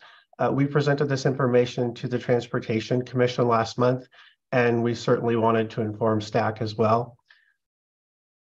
Now, when we typically talk about asset management at pavement and pavement at CDOT, we're discussing pavement on all Colorado highways, and we typically talk about it in terms of our internal metric, which is drivability life. Today, we're focusing only on the pavement for our interstates, and we're doing that through the lens of FHWA's national metrics, which all state DOTs are assessed on. And those measures really look at pavement by rating them in terms of good, fair, and poor condition. I know some MPOs are familiar with that metric as they are involved in target setting for the national highway system. Uh, next slide, please. So the federal metrics are really, you know, definitely a relatively new way of choosing projects at CDOT. We first began using these measures about five years ago, and we have seen an uptick in our poor inventory. Uh, we had less than 1% poor in 2017, and it's been increasing steadily to 3.9% poor today. Now, FHWA would like all states to be uh, below 5% poor on their interstates. So that's not too much of a jump from where we're at. A few states like Delaware and Michigan have already surpassed that 5% mark. Now, once that happens, FHWA begins restricting the use of certain federal funds. Um, these funds, which are National Highway Performance Program funds, are some of CDOT's most flexible funds. Um, we really like to keep that flexibility for programs that need it. Um, if we do go past 5% poor, we would have to obligate $130 million of those funds each year to poor interstates until we get below 5% poor. And if we can only use those funds for poor interstates, that loss of flexibility could really disrupt some of our current plans for other CDOT programs. So all this to say that we do want to ensure that the percentage of our poor interstates starts trending downward, both because we don't want to lose that flexibility and because we all have an interest in the quality of our interstates. Next slide, please. So I think that map did a really good job of showing, you know, we're not where we want to be at CDOT in terms of this uh, measure. And so under the direction of Director Lew and our Asset Management Oversight Committee, we've done an analysis of just what it would take to remedy this. And, you know, when we initially looked at the numbers, they were a little daunting. It was $200 million or more. Uh, but what is heartening is that we did some analysis of one, what's already in our, our pavement or our surface treatment program in the outer years and what projects we could shift, and to what was already in the 10-year plan. And working with the regions, we found we already had a vast majority of this needed work paid for in some way. And where it wasn't planned, we could make adjustments and, and cover it. Additionally, uh, the TC in December approved some redistribution funds for this very issue. And so uh, thanks to the TC, those dollars will also help to offset, offset some of this cost. We're going to show you now what we believe is a good game plan for addressing these troublesome pavement spots. And under the direction of Director Lew, we formalized uh, this project list so we can visualize and track just what projects we're making going forward. Next slide, please. Uh, so this is that big project list we've been working on, and it's divided into three key parts. The first nine projects you see up there at the top are what we're calling strategic projects. And those are projects that really need some additional funding still. Uh, the next group, those four under the existing projects category, are those that are not already fully funded and planned. And lastly, just to illustrate some of the good work that's been going on. We show a diamond grind that we completed near Fort Morgan about a year or so ago uh, that really knocked out a substantial chunk of our federal poor. So taken together, these projects, we expect they'll move us from about 158 poor lane miles in 2021 to 55 lane miles after the projects are completed. Um, you can also look at this as going from 3.9% poor to about 1.4% poor. One really big caveat we want to give um, is that this does not account for anything that could become poor in future years. And that could really be a surprise. It could be a really big issue depending on how things shake out. Um, so it's not an issue we're discounting. Next slide, please. So let's skip this slide. It's, it's mostly included in the next um, slide. Um, so you can see here that we have included those costs of these projects in that fourth to the last column. And it does add up to about $234 million. So initially, when we saw that, you know, that's a very daunting estimate. But as I mentioned, our pavement team and the regions did a good job of figuring out what we can pay for through existing programs. And you can see that's about $171 million. You can see in the right far column that we have the year of delivery. About half of these projects would be delivered in 2024. Most of the other projects would be due delivered in 2025 due to some complexities unique of to each project. That's why they're being pushed out that far. Um, and the recommended treatments you see are a mix of minor rehabs, major rehabs, slab replacements, and other treatments. In the next slide, we'll look at the cost of these projects in comparison to the funding gap we're facing. So again, this is just to show we can pay for most of this through existing program funds, surface treatment, the 10-year plan. There's even some bridge dollars in there. Um, we do have some one-time funds, as I mentioned, that are also helping to pay for this. Uh, the Transportation Commission approved that $10 million in December for federal poor. And we also have been setting aside in the recent years some of our normal asset management um, budget for this because we have been anticipating that it may become an issue. All this to say that we're left with an unfunded amount of about 37 million. Let's go to the next slide. Thank you. Here you can see that we don't think this unfunded amount has to come in one shot. We would spread it over three years most likely. And, you know, most likely that source of funding for this un unfunded amount is federal redistribution dollars. Um, really, it's like unspent money from the Highway Trust Fund that comes to us later. So uh, there is a potential that we could borrow from other asset programs to realize these projects, but that's not anticipated at this time. Next slide, please. Uh, last thing we wanted you to remember about this, I wanted to reiterate that this does not solve this poor pavement interstate problem forever. As long as there's this federal measure and as long as this restriction can be imposed, this is likely to be an ongoing concern for us. The projects we discussed today should do a good job of fixing most of the interstate poor pavement out there, but it does not account for pavement again that may become poor. Um, to give you an example of how, how big of an issue that can be, we think that 40% of the 3.6% poor for 2022 was entirely new poor. Um, so to better address the interstates going forward, we are looking to changes in the surface treatment program to, you know, improve how it considers interstates. And we'll be looking to highlight this need with the TC as it arises each year as new poor segments emerge. Um, we want to make sure that the, the TC is considering this issue when federal redistribution dollars are considered going forward. Uh, overall, the message here is, you know, we think this is a really solid effort from the executive team and certainly the regions um, were great about adjusting their plans and we think we have a good plan that positions us where we want to be, but we still need to be watchful for that, that emerging interstate poor should that happen. Um, so that's our presentation for today. We have some maps that were included in your packet, I believe, that talks about where all the projects are, um, what the project links uh, links are in each um, location. Uh, but that was our overview for today.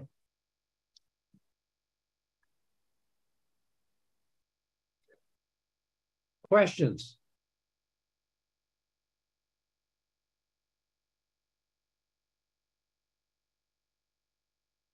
Okay, Suzette.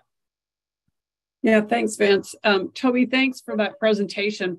I think as we were talking about this internally and getting ready for this meeting, there was some conversation about how do you measure poor on the interstate system? And is it a federal measurement? And and is that federal how the feds measure whether the interstate's in poor condition? Is it the same as cdot measurement of that? I guess i just maybe trying to get some um, clarity around how these measurements happen and are, are they consistent between cdot and the feds? If you could help yeah. answer that uh, so it's absolutely a federal measure um, and it came out a couple years ago the way we measure is we have vans that go around and they have very precise sensors that um, use lasers and all kinds of things to measure um, what we call distresses in pavement, like rutting, cracking, smoothness. And um, the federal measures, we collect them at the same time we collect distresses for the CDOT measure, which is drivability life. And drivability life measures many of the same distresses that the federal measure uses. but the results are not the same because drivability life uses other metrics that the federal measure does not. So uh, currently CDOT thinks that drivability life is a more comprehensive way of evaluating pavement health, and that's why we use that. Um, but in, in, in a nutshell, they use some of the same indicators, but drivability life uses indicators that the federal measure does not use. And um, if you want more on that, we have, I think Laura Conroy's on the line. Um, Laura, did you have anything to add to that? I think you described that well. Um, if they have additional questions, I can answer them. Do you have a follow up, Suzette, or is that what you needed? Yeah, I was just, you know, I just wanted to make sure that we're not letting the federal, um, the federal the way the feds are looking at the payments sort of sneaking up on us. Um, but it sounds like you guys are all are, are measuring that at the same time you're measuring it through the drivability. Correct. We're we definitely have our eyes on this, and we are looking at what's becoming poor based on the federal metrics, and it's on our radar for sure. Okay, so there's two questions in a chat, and then we have one in person. So let's take the two in the chat first. Does um, let's see, where was it? Is it lane mile or center lane mile? Um, lane miles. Lane yeah. miles, yeah, and it's in one direction of the highway. Okay, does diamond grinding really fix the problem? Do you want me to take that, Toby? Okay, so for concrete pavements, the federal metrics are looking at both smoothness and faulting.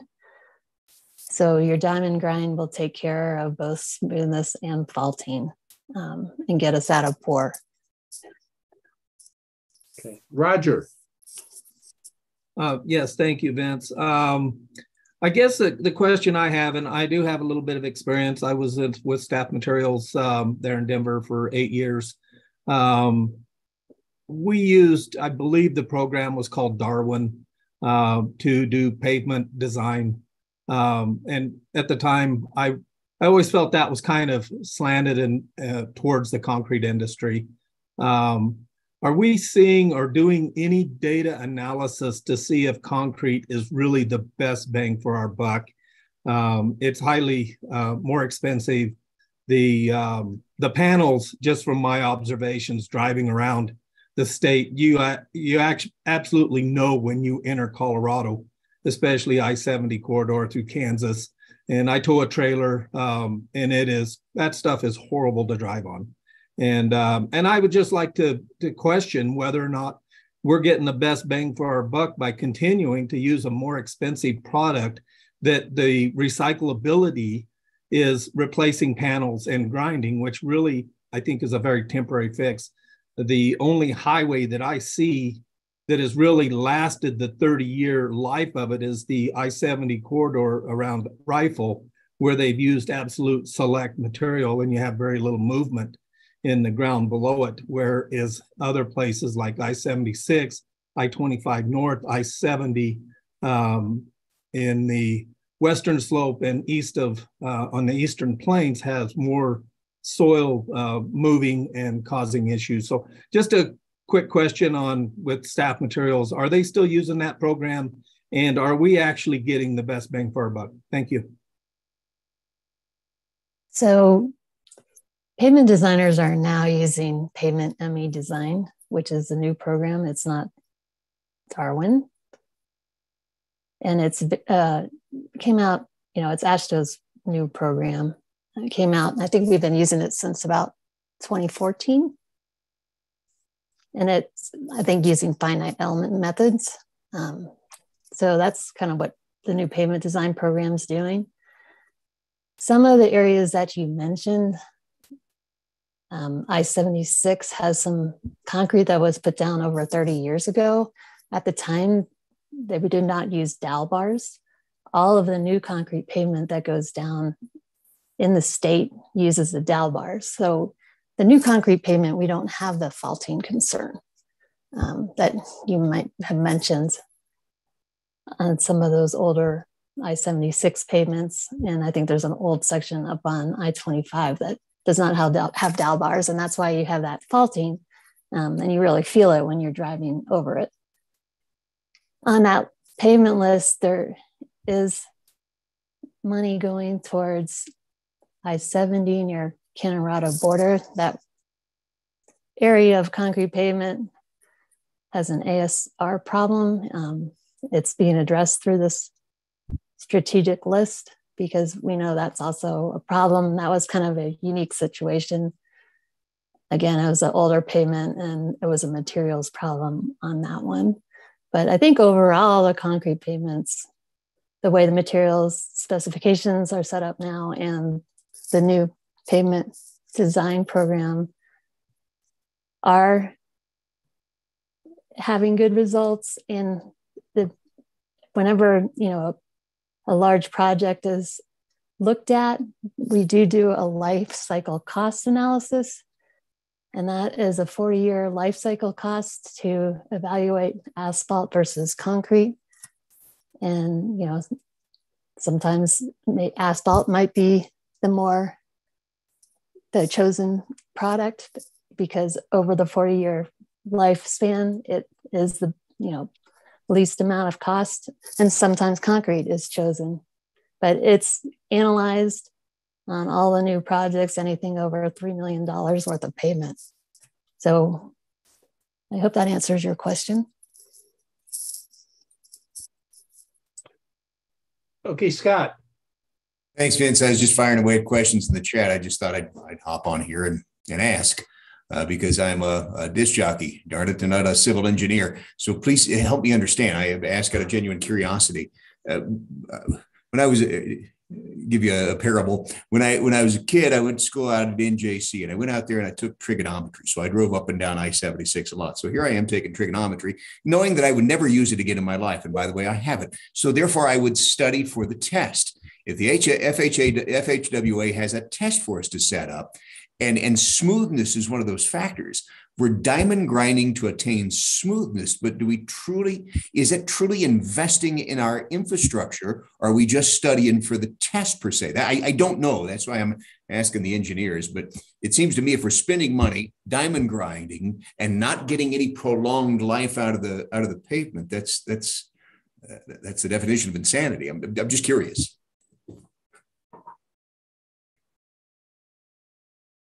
Well, if we had all the money in the world, we would we would probably rebuild large sections of interstate.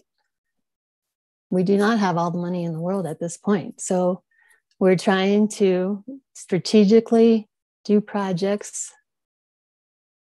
that are not throwaway projects that actually do improve the road for 10 years at a minimum. Um, you know, we would love to reconstruct, but we have limited dollars in surface treatment and in CDOT in general. So uh, my, my curiosity though still lies in does diamond grinding extend the lifetime, the expend the, the useful life of the highway, or are you studying for the test? Well, it'll improve it the ride for probably eight to 10 years. But a lot of, you know, our overlays on asphalt are 10 year life you know improvements as well. So it's a it is a way to it's a rehab you know it's a rehabilitation. And rehabilitations are around 10 years where they improve the pavement life. So it does improve the life.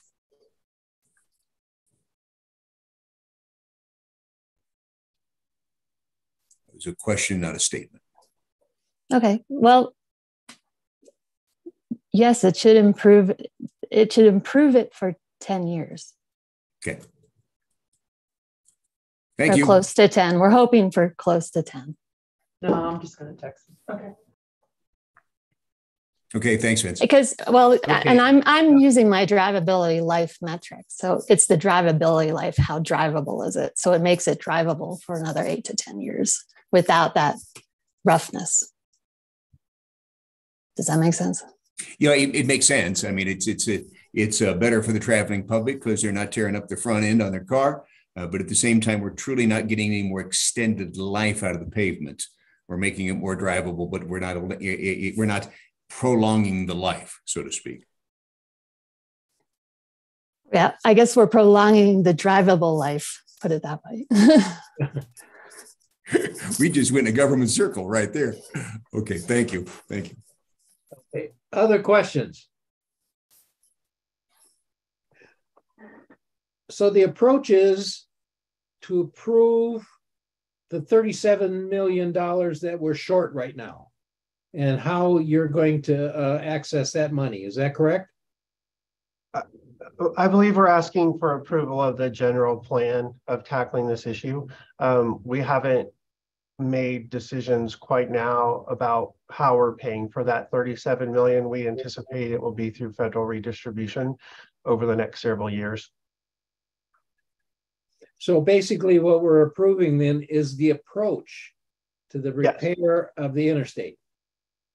Okay. Yes. So is there a motion?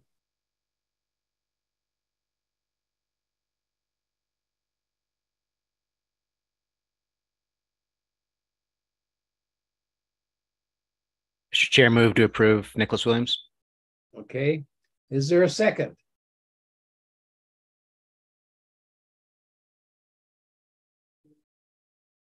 Keith Baker, I'll second. Thanks, Keith. Okay, so it's been moved and seconded that we're approving or recommending the approach uh, that is presented to us for the repair of the poor uh, interstates, highways in our state. Further discussion. Mr. Chair, it won't be unanimous. I'll stand in opposition to this. It's it's we're, we're band-aiding something that uh, we're spending money to make the FHAW FHW happy, FHWA happy, and not we're not in, investing in our asset. So I'll be in opposition. I might be loaning that, but that's fine. Scott Weaver from Yuma County. I'm going to stand with Scott James. Um, I, I, don't think this is a, an appropriate approach. Um, all we're doing is delaying the inevitable. So, anybody else? Kevin? Yes, I'm going to stand in opposition as well for the upper. Yeah, Central Front Range going to stand in opposition also, along with Commissioner James. Uh, this is Chris from ETPR. I joined Scott in the opposing. Can I make a comment real quick? Go ahead. So I, I am not trying to step on any of your guys' toes, but before we vote, um, so when I was in engineering school, and that was eons ago, I had to argue against the Asphalt Paving Association president at Ohio State in, for the state of Ohio and argue for concrete. You had to pick a side. I picked concrete. I think the hardship is when you look at asphalt paving, and I wish Toby and um, Laura, you could bring up the lifespan of asphalt versus concrete and what this looks like. What what they are trying to convey is, and I'm trying to make this a layman's thing and not an engineering thing for you guys. You have an asphalt lifespan that's, I mean, I'm sure the materials are much better than it was 30 years ago, but you have a lifespan for asphalt that's between eight and 12 years you have a lifespan for concrete that's between, you know, 12 to 20, depending on weather and environment and whatever you put in the concrete mix. What this is doing and saying is if you take a quarter inch lift off of the asphalt and you you you you basically put a, a tiny lift on it you're gonna you're gonna give that asphalt paving another probably four to seven years if you do a diamond grind on concrete, you're, uh, you're extending the life of the concrete five to seven years. If you look at that graph, which we all looked at in engineering school, the life of, of concrete is still predominantly best. This is not the you know smoking gun to say this is going to fix all the problems in the state of Colorado or you know FH, you know state water um, countrywide on what, what's going on, but this is helping um, prolong the life of your surface, your drivability surface. The, the issue is, is that it is it is expensive to replace concrete. The ideal is to pave right over concrete and you know you have then a ironclad surface that lasts a long time and is less expensive to to to you know fit to fix, but unfortunately, that's extremely cost prohibitive. I mean, what we're trying to, I think what Toby and Laura are trying to convey here is that there is a process. They are trying to convey a you know longer process to keep getting these funds to extend the life of pavement realizing that in some areas you're going to have to replace and but you're not going to have to do it you know, if we don't do this, then we are going to literally be replacing sooner than later if we don't continue to what you're saying, Scott, you know, put a band-aid on the problem. Now, Toby, co- totally correct me if I'm wrong, but this is how I think of it and how I was taught that what you guys are conveying is an extension of life of ultimate all all highway systems road systems are going to have to be replaced this is just prolonging the life a little more. Heather, and thank you. That's that's what I'm after. There is is uh, you're a civil engineer. I'm a disc jockey for crying out loud. It makes me just smart enough to run my mouth. So, but what I'm eh, say if the, the, the concrete we lay down shiny new I-25 pavement like what we have in my neck of the woods, and you're going to get quote you're going to get 10 out of it. Now I know it's much longer, but I'm simple and I got to use simple math. You get 10 years out of it. So you get six years into this, and we say, boy, it's getting rough and the FHA, FHWA is on our rear end. So therefore we should diamond grind, diamond grind this to make it smoother. If you're still just getting 10 years, that's a waste of money. But you're not. Grinding, you're, you're still, so that's the thing. You're not going to see the, oh my goodness, it's starting to deteriorate until you're about one to two years from the end of life. And that's when you want to step in because there's other graphs that show, even with asphalt and with concrete, if you don't step in two to three years prior to end of life, then you are going to have to do an incredible, I mean, you're doing heart surgery instead of stitching. So what they're trying to do is say, hey, let's go in and put stitches in and not completely go into the cavity, take out the heart and try to replace it. So this is this is the differentiation is you know, you have to extend that span and they're doing it before the end of life occurs. So, you, but you do get an extension on the back end yes. of life, so to speak. Okay, yes. then I withdraw my my my being a pain in the butt. I I just want to make sure that if we're diamond grinding, get six into the ten, and we're still only only got to get ten. That's ridiculous. But if we're diamond grinding six into the ten and we get twelve, that makes sense. If if I make sense, okay. Thank you. Okay, James. Yes, uh, James Usher with uh, CDOT Region 4. So, yeah, I, I understand a lot of the sen- sentiments there um, and, and the feeling that ultimately is like really it's like you're just putting a band aid on it.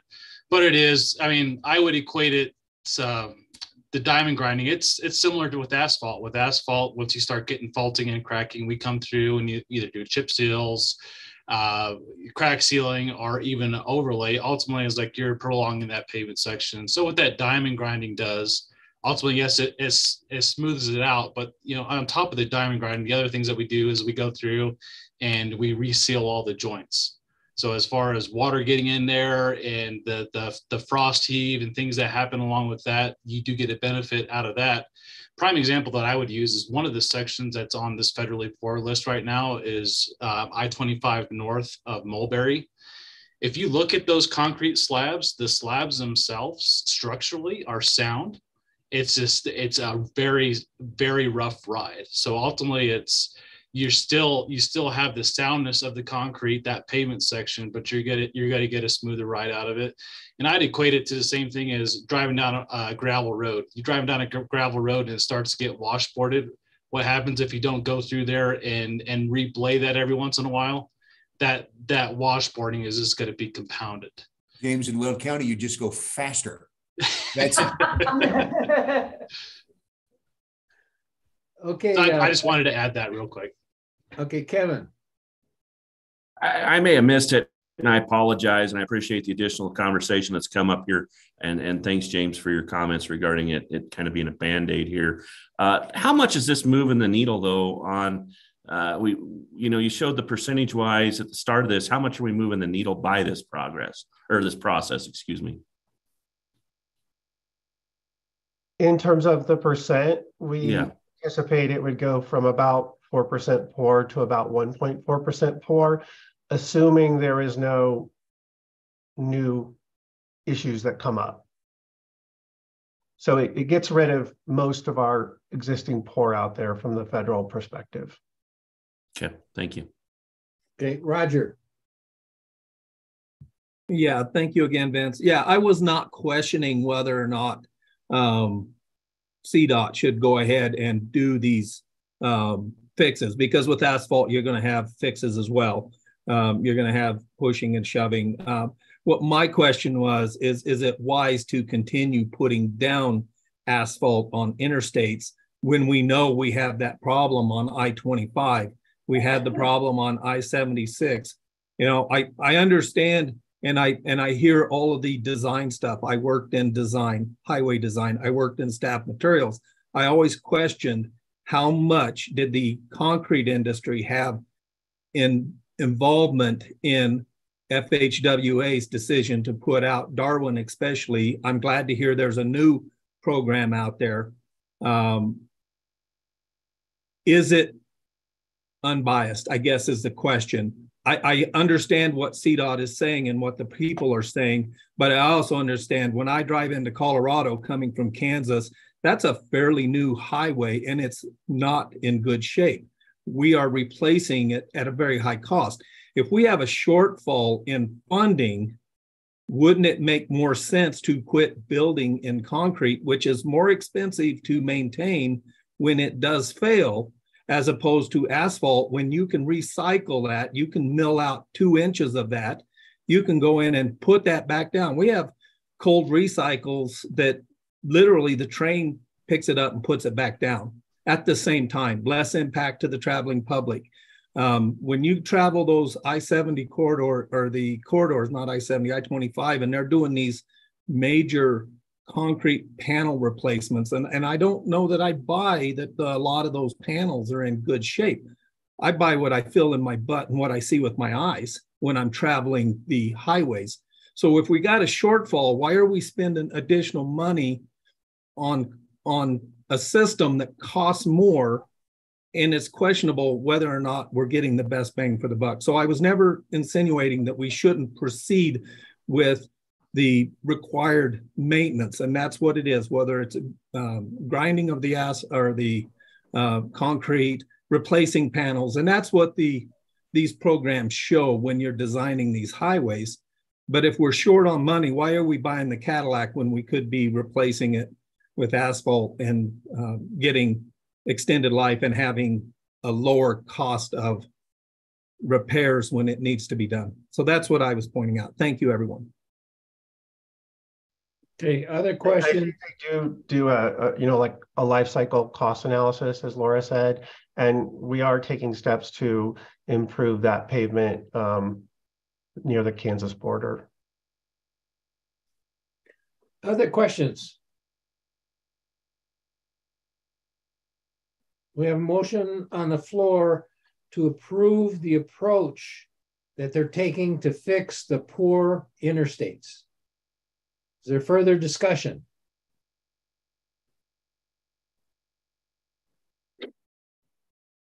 Hearing none, those opposed, uh, I guess you raise your hands. One, Scott, did you have your up? Uh, Vince, I'll move to supporting it because Heather told me I should. Okay. Uh, okay, I got I got one opposed. Is there any further opposition? Chris Richardson's opposing. Chris? Yes, thanks. Hearing no further opposition, the motion carries that we're approving the approach they're taking. I have a question, Toby or Laura. Could you guys possibly send out like a life cycle graph for people to understand what it looks like with asphalt versus concrete?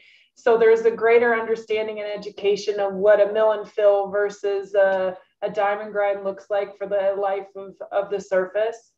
I know that they're out there. I mean, at least they were 30 years ago. I can't imagine that they are, you know, they're still present. Yeah, we'll we'll send you what we we'll look into that and send you something for sure. I Okay, think that so- would be insanely helpful for everyone to understand what this what what we're really talking about. Yeah, and the thing of it is, is all these questions that we're presenting are probably going to be the same questions that you're going to receive from the commission. And so, um, so the, I need to deal with that. Chris, do you, did you have a question?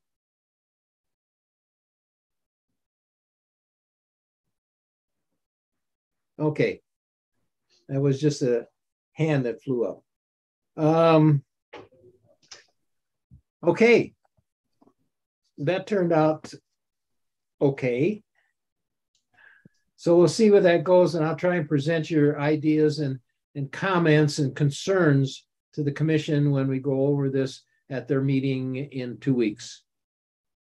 Okay, uh, uh, let's see, fiscal year 24, uh, final budget approval. The commission is going to approve the budget at their meeting this month. And we have the opportunity to recommend, make a recommendation to them. So annual budget. Yeah, thank you, Vince. Um, good morning. I'm Bethany Nicholas. I'm the budget. Bethany, yeah, hi. You want me to go ahead? Go for it. Okay, Yes. thank you. Um, so I'm the budget director here at CDOT. Um, so my team uh, works to put together the um, budget allocation plan every year. So um, we've been working on FY24 over the past many months. And we're kind of now at that point where we've got the budget built and wanted to bring it to you all for review and feedback to the Transportation Commission um, in preparation for uh, the March Commission meeting when the FY24 final annual budget will be presented to them for adoption.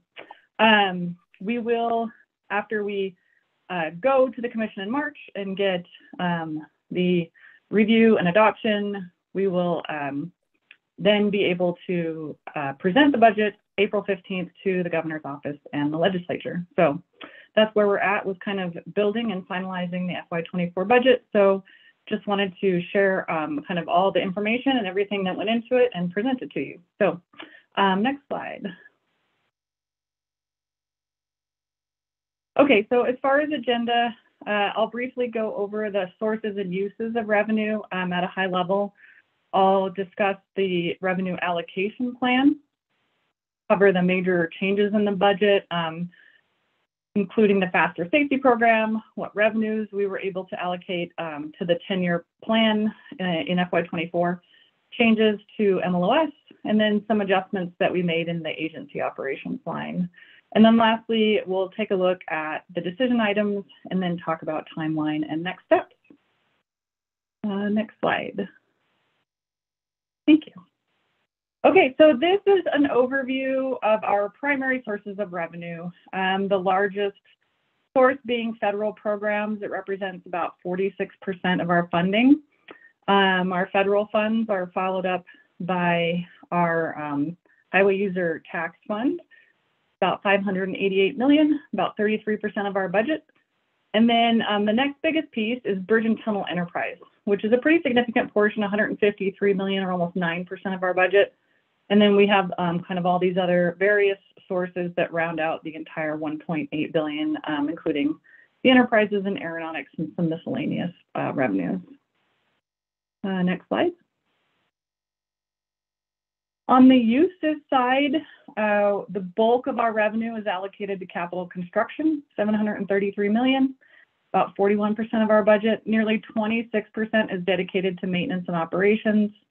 And then 18%, about 318 million is going to suballocated programs, um, which are those dollars that pass through to local agencies. And the remaining programs bring that total allocation to 1.8 billion. Uh, next slide. Okay, um, this is a look at kind of all of the products in the budget. So uh, the entire annual budget has many parts and pieces. They're all posted online. If you Google CDOT budget, you should be able to find your way there. We, um, we prepare a full narrative. This is, I think it's about 96 pages long. It's got kind of all the details of our budget in depth.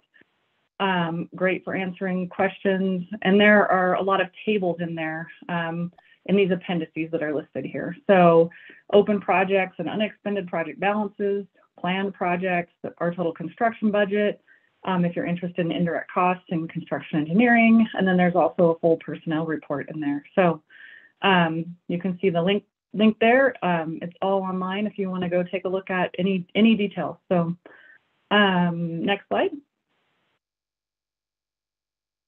Okay, the, the major product that um, is of, of great interest within the budget is Appendix A, the revenue allocation plan. So this is where we take all of the revenue projected for the fiscal year and allocate it to programs. Uh, we built the plan using our September 2022 revenue forecast. We um, revise and come out with a new forecast every quarter. Um, we did do a forecast in December, but there weren't any changes significant enough to warrant starting from the beginning and rebuilding the budget over again. So uh, we just decided to stick with using that September forecast.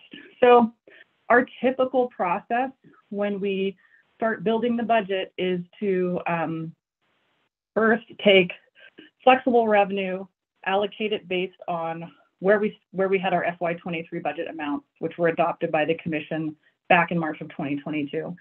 Um, we do have to make some adjustments to balance. And then in flexible revenues, we automatically adjust based on the forecast because they have to go um, where that program is. And then asset management and maintenance programs, we fund according to the FY24 asset management planning totals, which were approved by the commission in November of 2019. Um, and then here at the bottom of the slide, we just kind of provide a recap of that um, the 1.8 billion and and how it lays out between CDOT and the the now four different enterprises that we have. Hmm, next slide. Appendix B, the spending plan, is another piece of information that really helps give a more complete picture of the budget. Um, we often focus on the revenue allocation plan, which gives you a breakdown of how we're allocating one year of revenue. And that's really where the decision making comes into play around how you want to plan for your dollars, how you want to allocate your new resources.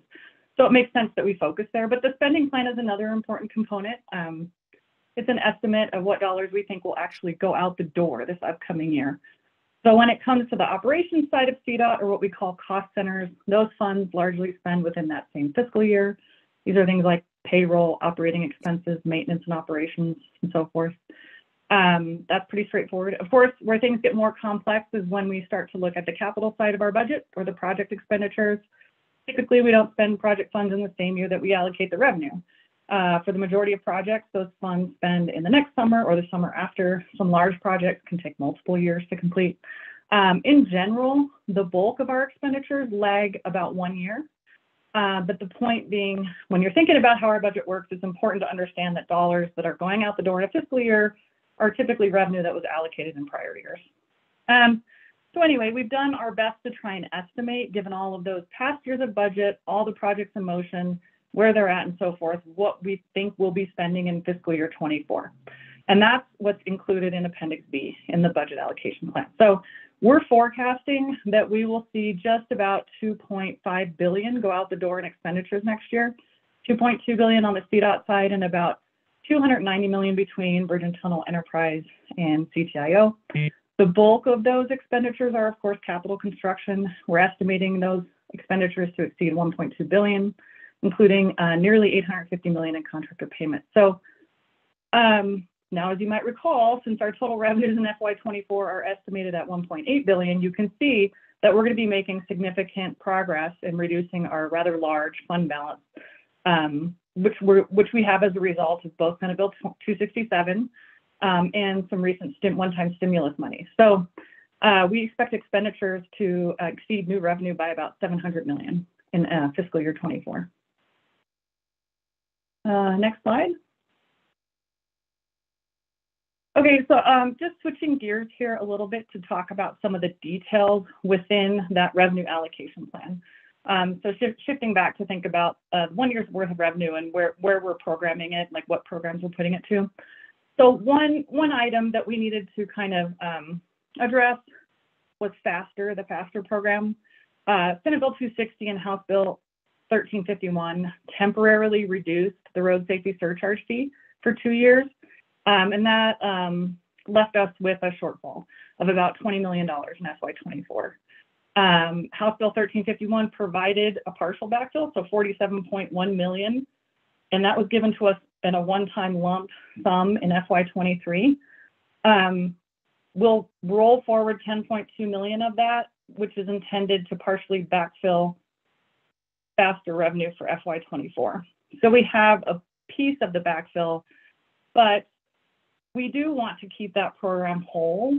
So we have decided to add an additional 9.7 million in state funds to um, continue a full allocation of 69.2 million. So the FASTER safety program has has kind of um, for many years, the past few years, been at 69.2 million, and so we didn't we didn't want to see that baseline kind of get eroded. So we went ahead um, and allocated an additional 9.7 million in state funds to, to keep that program whole in FY24. Mm, next slide. Um, I wanted to touch on uh, revenue we're able to allocate to the 10-year plan. we're at 123.2 million. We have 10% of that allocated to the multimodal line, uh, 12.3 million. Um, so of course, although the average planning number over the course of four years was about 325 million a year, um, the revenue allocations over that time span will have a lot of variability because we're managing a multi-year program. So FY24 has a little bit lower allocation in comparison to that planning figure because we have a lot of upfront one-time revenues that are uh, currently in our fund balance that we're spending down. So Senate Bill 267, Senate Bill 260, stimulus funds. Um, but I did want to kind of highlight, so we, we were able to um, allocate 123.2 million um, in FY24. Um, next slide. Um, okay, a little bit about the maintenance budget. So the FY24 starting budget for maintenance level of service program is 274.9 million, or that so that includes 269 million that was approved as the asset management planning budget by the commission um, back in 2019, plus 5.9 million that was approved beginning in the FY23 budget to address salary increases for TM1s and the maintenance employee portion of across the board salary inc increases in FY23. For the final FY24 budget, um, we decided to allocate an additional 5.2 million to fully fund the maintenance employee portion of the 5% across the board salary increases that were requested in the governor's FY24 budget. Um, and then 4.8 million for a housing stipend program, um, which we had discussed with the commission um, back in July. Um, and that brings our final allocation to 284.9 million for MLOS and FY24. Um, next slide. Okay, um, agency operations.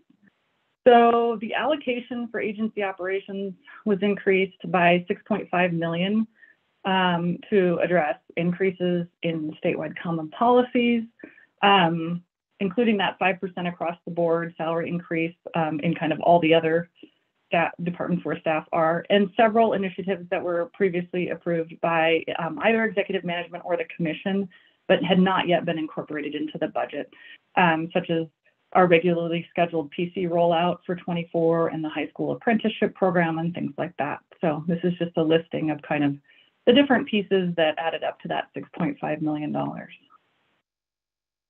Um, next slide. So those were kind of the, the big components um, of uh, uh, where, where we kind of had unique allocations in the budget. Um, we do, um, during the FY24 budget building process, CDOT divisions and regions request decision items. So, um, you know, they can come forward with requests for funding that represent a significant change to their current program. So if there's a new or expanded program or a new investment um, that they're they're looking at doing in FY24, um, we have an internal process. They'll bring that forward, um, and then we'll take a look at that and and and process that. So, in accordance with Policy Directive 703, decision item requests of less than a million dollars are reviewed and subject to approval by executive management, while decision items of a million or greater are reviewed um, by executive management and then forwarded to the commission uh, for consideration. So um, for FY24, there are no decision items that were approved by the EMT that require um, additional approval by the commission. Um, but there was one kind of notable decision item that um, we wanted to include for informational purposes. The traffic safety um, in the Division of Engineering asked to increase its indirect budget by 500,000 to support ongoing collection and coding of crash data that's used by engineering for analysis and reporting. So um, those funds will be used for contract staff that will add critical elements to the crash database that are not currently available for each each of the records received, like highway, mile point, geographical coordinates, region, things like that. So this was approved as a one-time decision item in the FY23 budget, but now has been approved as an ongoing allocation allocation in the traffic safety indirect budget. Um, next slide. Thank you. Um, okay, so that brings me to timeline and next steps. Um, you know, we're we're going to um, add one more piece to the budget, which is to estimate roll forwards. Uh, we we tend not to do that any earlier in the process because it's just it's too difficult. It's a lot easier when we get to this point in the fiscal year to be able to kind of project starting July 1 what what dollars we think we're going to roll forward into the next fiscal year. So um, you know, we're working on incorporating those those estimates into the revenue allocation plan just for reporting purposes, for transparency and visibility. Um, and then uh, the Transportation Commission, uh, when they meet in March here in a few, few, weeks, will be asked to review and adopt the FY24 budget. Um, and then we will go ahead and submit that final plan to the governor's office and the legislature. So today I just wanted to kind of bring this to you um, and present it um, for your kind of uh, review and recommendation uh, to the commission. And that's all I have. Okay, questions?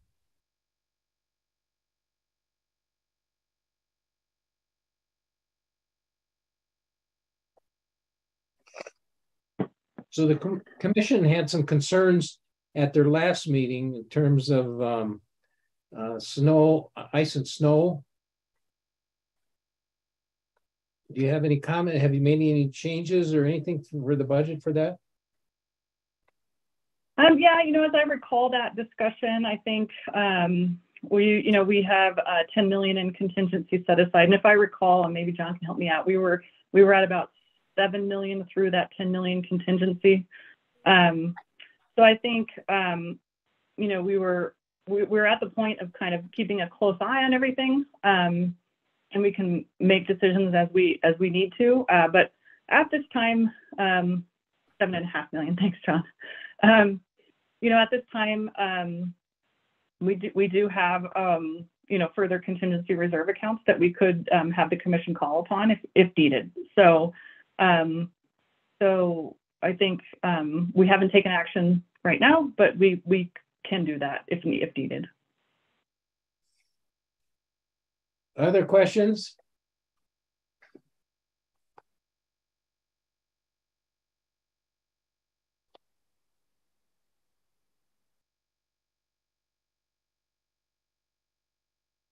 Okay, so is there a motion to recommend approval to the commission for the 23-24 annual budget? Uh, Commissioner Williams, so moved. Is there a second?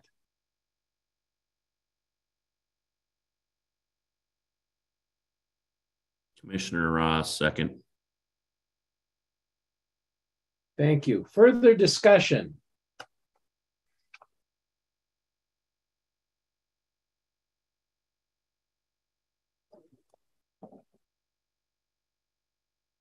Hearing none, is there anybody that disagrees with recommending the approval of the 23-24 annual budget to the commission?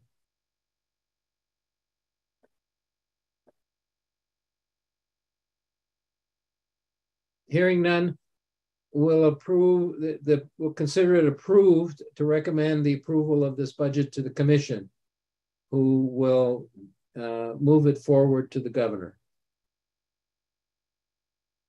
Okay, infrastructure, fiber and broadband.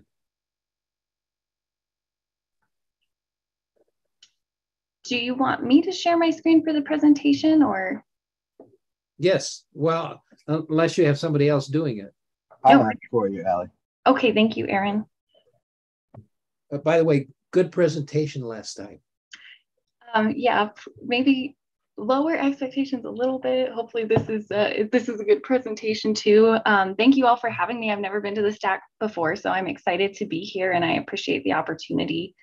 Um, and I also just want to say this is kind of a reiteration of the, the presentation I gave in February to the Transportation Commission, but uh, the agenda slot is a little bit shorter for this meeting. So I cut some content and I'm going to try and talk relatively fast to get through it with respect to the agenda. So um, I, I, appreciate the opportunity. So I'm Allie Axley. I'm the ITS branch manager. And if you could go to the next slide, please.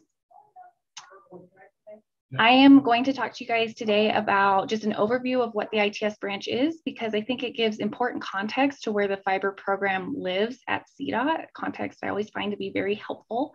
Um, then I'm going to dive deeper into the background of the fiber program, how it came to be, how we got to where we are today. And then I want to talk about what we are currently active, acting on in our branch right now today. Um, very consumed by the fiber topic right now. And um, we'll wrap up with talking about where we're trying to get to with the, the fiber program. So next slide, please. So for those of you who may not know, the Intelligent Transportation Systems branch, ITS branch, sits within the Division of Maintenance and Operations. We're under the operations side of that umbrella. Next slide, please.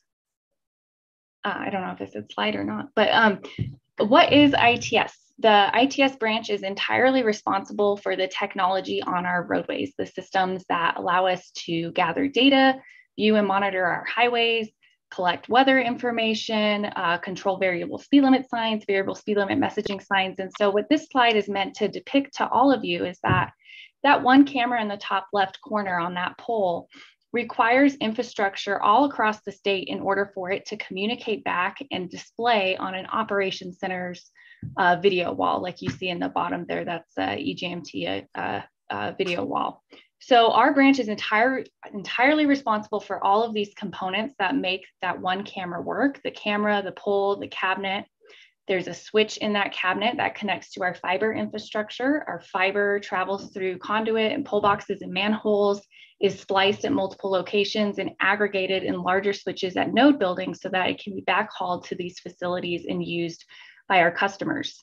So we have tons of customers who are very interested in this technology that uh, vary distinctly, but I'll, I'll just highlight two examples of that. One would be our operation centers. They are not part of the ITS branch, but they're some of our primary customers who leverage our cameras and this data to monitor and manage our highway system. Um, on the left there, that's the tool, the application they use to post messages and control the cameras um, called OpenTMS. And on the right, it is, it's heavily connected to our CoTrip website. So if you would click the button on the slide deck, please. Um, CoTrip is one of uh, the nation's DOT websites that is, that is very heavily used. In the month of December alone, our CoTrip website had 27 million views and it was all, it was close to a million unique viewers. So those are our public customers who are consuming all this information that relies on this infrastructure today. Next slide, please. Um, so another way to think about that is it's kind of linear, maybe engineering brain a little bit, but this is how I compartmentalize all those components that we're responsible for and kind of those primary assets that we need to make our system work. So if you uh, would click the next slide, please. So everything that now has an orange uh, uh, outline around it, those are all the components, again, that just enable that one camera to work back on those applications that our operators use that post to CoTrip that enable us to leverage this technology today. So when we talk about what is ITS, ITS is truly It's not a device, it's a system and how that whole system works and everything it takes to make that successful. Next slide, please. So how does the branch do it? Our branch is made up of uh, 39 full-time uh, positions and we subcontract out 20 more uh, staff augment contractors to keep our branch afloat. We currently have about 10 vacancies in our branch, but our functions are, are across the map. We have a maintenance patrol, a field operations team that is responsible for the asset management or uh, the maintenance, uh, preventative and emergency repair of all of these devices, fiber infrastructure network gear across um, across the state. We also have an engineering team that design, constructs, and deploys their own projects, but also acts as the SME for other region projects that incorporate technology. And then again, um, we have asset management is a, is a particular function in our branch because inventorying all of these devices and making sure we're replacement planning and allocating our budget appropriately to the best of our ability to keep everything up and running is very critical. We also have a fiber mm-hmm. development team, which currently is one person who's responsible for managing our existing agreements, working partners through new agreements, and really improving our processes in that area. Um, but we also have data and reporting. So all of this information out there comes back and it needs to be consumable in some way. Um, and then in addition, we have a network and systems team that's responsible for actually lighting the network that rides our fiber infrastructure. So fiber is really just glass in the ground. It doesn't do anyone any good unless you put lasers on the end and, and turn up the network. And so we have a, a small and mighty team that does that for us across the state. Then we also have a project development team that's really um, emphasizing how we how we uh, work technology through the systems engineering analysis, which is a critical um, and federally required process when we're deploying technology on our highways for highway operations um, we, we need to think through how we're investing in that technology and how we're going to make sure it's successful in the long term, how we're going to operate and maintain it, um, and not just worry about how we're going to install it um, and close the project and be done. We have to think about it in the full scale of its life cycle. Next slide, please. So again, I kind of mentioned this, but this is a kind of a ballpark. These, these numbers are getting outdated now with new projects coming on, but we have over 2,000 uh, ITS devices. Those would be the, the typical ITS devices you think of, weather stations, cameras, variable message signs, um, the, the point, the endpoints you see along the highway. But we also, behind all of that, we have almost 1,500 components that make up our network gear um, and our server environments. In addition, we are responsible for 18 node buildings. Um, we manage the data center out of Golden. And then we have over 1,600 miles of fiber. So again, our maintenance patrol um, has to cover border to border, corner to corner of the state, responding to issues with cameras, issues with these devices. So we do house uh, three of our maintenance patrol out of Grand Junction to help us with travel time. And we work really closely with our regions, like great collaboration with Region 5 and, uh, and help with maintenance response for those devices that are just pretty far away from Golden. So next slide, please. Um, but of course, everyone is, is a lot more interested in fiber these days than just about anything else. So these are some um, important facts to know about our fiber. So we currently have about 1,600 miles of fiber cable laid in the ground. Um, and what's what what gets very complicated and challenging for us to manage and maintain an inventory is if you look at that picture on the bottom left, that left that's actually a damage but it really shows all the hairs of glass that make up that fiber cable. Um, a typical fiber cable size might be 144. That means there's 144 strands in that cable. And as it travels through these different manholes and pull boxes and reaches splice points, like you see on the right, we have about 1,300 locations on our network where we access the fiber. Um, it can, it can uh, connect and be spliced into other fiber cables in a variety of ways and go on a variety of paths where we try and find physical redundancy for these uh, networks that we turn up. And so tracking all of that and all of those different pathways is, is incredibly complicated and intensive for our team to keep track of. So if you would please click the button. So to give kind of scale to that is if you lined up all the fiber strands we have along the highway, we have about 135,000 fiber strand miles. So it's a it's a great asset to have and it just takes some some resources to maintain. So if you would go to the next slide please. So when we talk about the ITS branch and we talk about our maintenance and performance this is a way that we look at how we kind of keep an eye um, on our successes or our challenges. So if this these are just some example devices we have deployed and if you just look at cameras All of this data is from January 2022. So for that one month of January, um, we had 740 cameras on the road out there deployed and existing. Um, and over that month of January, we had 1,700 outages or notifications or alarms that there were issues with those 740 cameras. So many of those we can clear remotely. We have a network operations center that's monitoring those alarms, checking and resetting as much as they can from the office from a computer. Um, but then we reach a point where we really just cannot uh, successfully uh, clear the outage unless we roll a truck. So we get someone from our field operations team to go out there, respond to, replace, repair that camera. So in the month of January alone, we had a work order cost of $49,000 for those 1,700 alarms, for those 740 cameras. All in all, for that month, our camera uptime was 92%. Um, we really like seeing our uptime in the 90s for sure. Our goal is certainly 100 because it's very frustrating when you need to see a part of the roadway and that one camera you need to see isn't working. Um, but then it, it's just become simple math. As the number of devices go up, some of these numbers go down. And so we just look at how we can resource load to balance that. Next slide, please. So that was an overview of the ITS branch. Now I want to dive deeper into the fiber program, which is really what everyone wants to talk about. So if you go to the next slide, please. Um, we are governed and we, we act on fiber legislation that enables us to be compensated for the use of the right of way. So for the value, um, for say a telecommunication provider wants to install fiber on our right of way, for coming to us and, and providing that access to the right of way, that value, these statutes really tell us that we need to be compensated in some way for having that, that partner receive that value of access to the right of way. And so an example of how that works for us is we receive an unsolicited proposal, and that's defined in our statute CRS 431-1201 through 1209. Um, we receive an unsolicited proposal. It goes through uh, an oversight committee to be approved.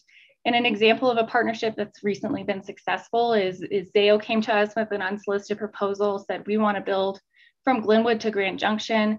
And for that access to that right of way, for that value, what we'd like to give you is in kind uh, fiber infrastructure, so conduit and cable for you to use for, for your network as well. So we act under these federal and state guidelines about how we should be compensated for the use of the, the public right of way. Um, next slide, please. But in addition, there's also internal documents to CDOT. There's several uh, TC resolutions that um, help guide us on how we should pursue this process and, uh, and what that looks like and how we have oversight committees um, and then in addition, that kind of clarify, we, we also have the opportunity when we have excess fiber capacity available to lease that dark fiber. And, and we, as the ITS branch, receive that, uh, that revenue from that dark fiber lease. And so this uh, TC resolution from 2010 helps dictate that we are how we use that funding, and we use that funding to actually pay um, our fiber development manager's salary right now. So these are examples of other documents that kind of govern how we um, have approached this program over the last two and a half decades. Uh, next slide, please. And you might have to click again.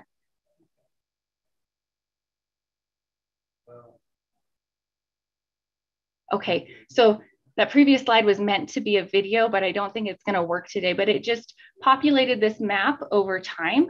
Um, so it's really meant to show that one, it took us about two and a half decades to really get here to have this expansive 1600 mile fiber network.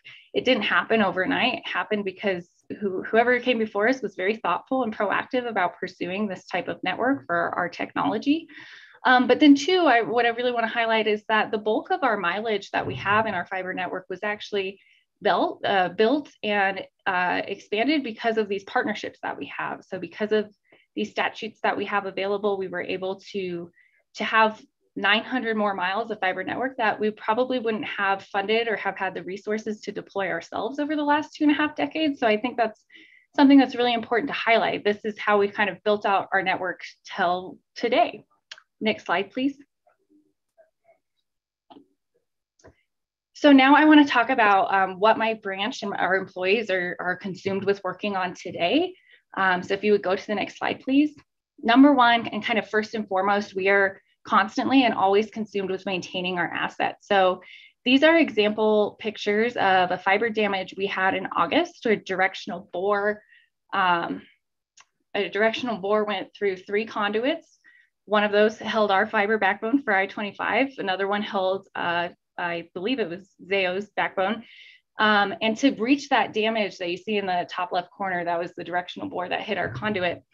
Um, we, we had to dig a giant hole that kept filling with water and it was very challenging and cumbersome to get our fiber cable restored um, and our and our backbone back up and running. Uh, but luckily we had a partner on this corridor. And so a lot of the times when these partners come in and make these unsolicited proposals, they help us with our maintenance of our asset as well. So our team is on call 24 seven to, to respond to these types of events, but having partners at the ready is also incredibly helpful for us too. Next slide, please. So the next thing we're doing is we're working on leveraging our asset all over the place. Um, so this, this just is a slide that kind of walks, walks you through how many times my network and systems team has to touch the switches that our construction projects go install to make that camera work. So in order for all that communication to be successful, we need our networking team to, to, to light that up and program things in the right way and configure everything in the right way. Um, and it takes a lot of iterative points with us in projects. And again, our team is responsible kind of statewide for these assets. And so every project on the state deploying technology um, comes, comes to that one team to work through all these steps on every single device that's being deployed. So that's something that consumes our team certainly. Um, next step. We are also working on how are we expanding the asset. So this is a graphic that shows um, in blue, the routes that we uh, proposed on the middle, enabling middle mile grant funding. Um, we should hear if we receive that funding this month. Um, I'm anxious to hear when. Um, but we applied for this grant enabling middle mile because we understand that we, we already have a 1600 mile network of fiber that's really convenient and helpful in getting communities back to Denver, which is where uh, the internet gigapop resides. So we could truly act as a middle mile partner for a lot of communities. And if we can expand our, expand our fiber network even further, um, we could kind of further open that door to leverage our asset for these communities interested in, in broadband. So um, we'll, we'll see what we hear on that uh, grant application, hopefully in the coming weeks. Next slide, please.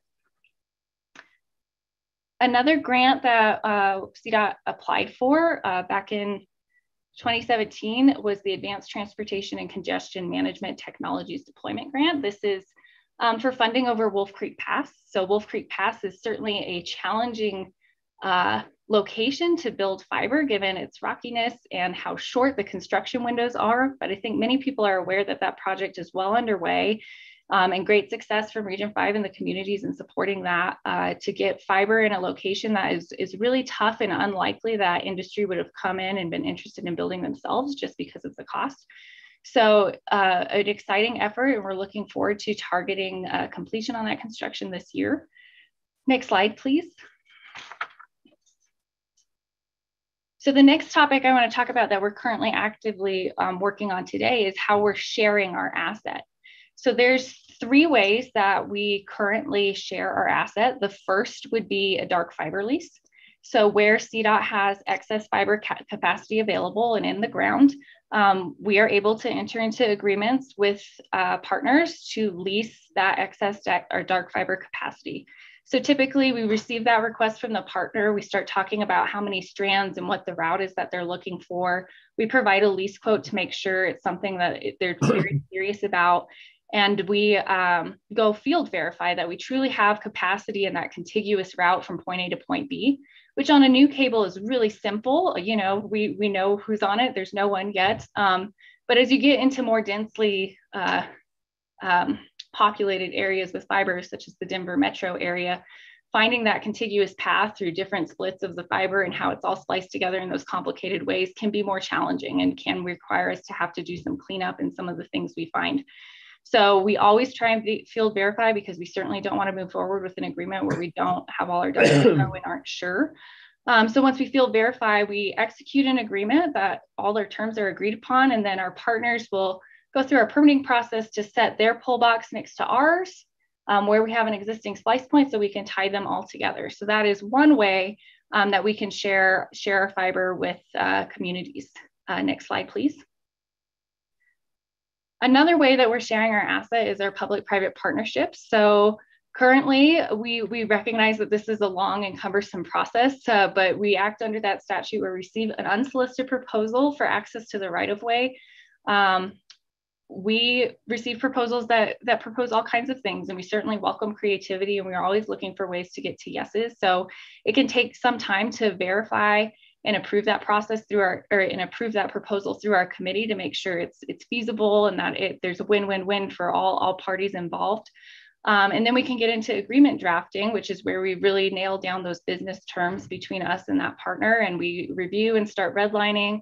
Um, and then we get into kind of agreement execution which is where more uh, um, reviews get involved with lawyers, the controller's office, you, whoever needs to whoever needs to review that agreement through our procurement processes um, to execution. And then once we execute that agreement with our partner, um, like I believe Zayo is another good example on I-70. It took a couple years to get to the point where we received their proposal and then we executed the agreement. And, uh, and then from that point, it took again a couple years for them to be able to go out and construct and finalize um, the implementation of what was agreed upon in that agreement. So it can take time. Um, but ultimately, these partnerships are, are, for 20 years. So we take them very seriously and we work really hard to be good partners um, with those that come to us and, and hope for the same in return because uh, we will be working with these partners uh, for a very long time. Uh, next slide, please.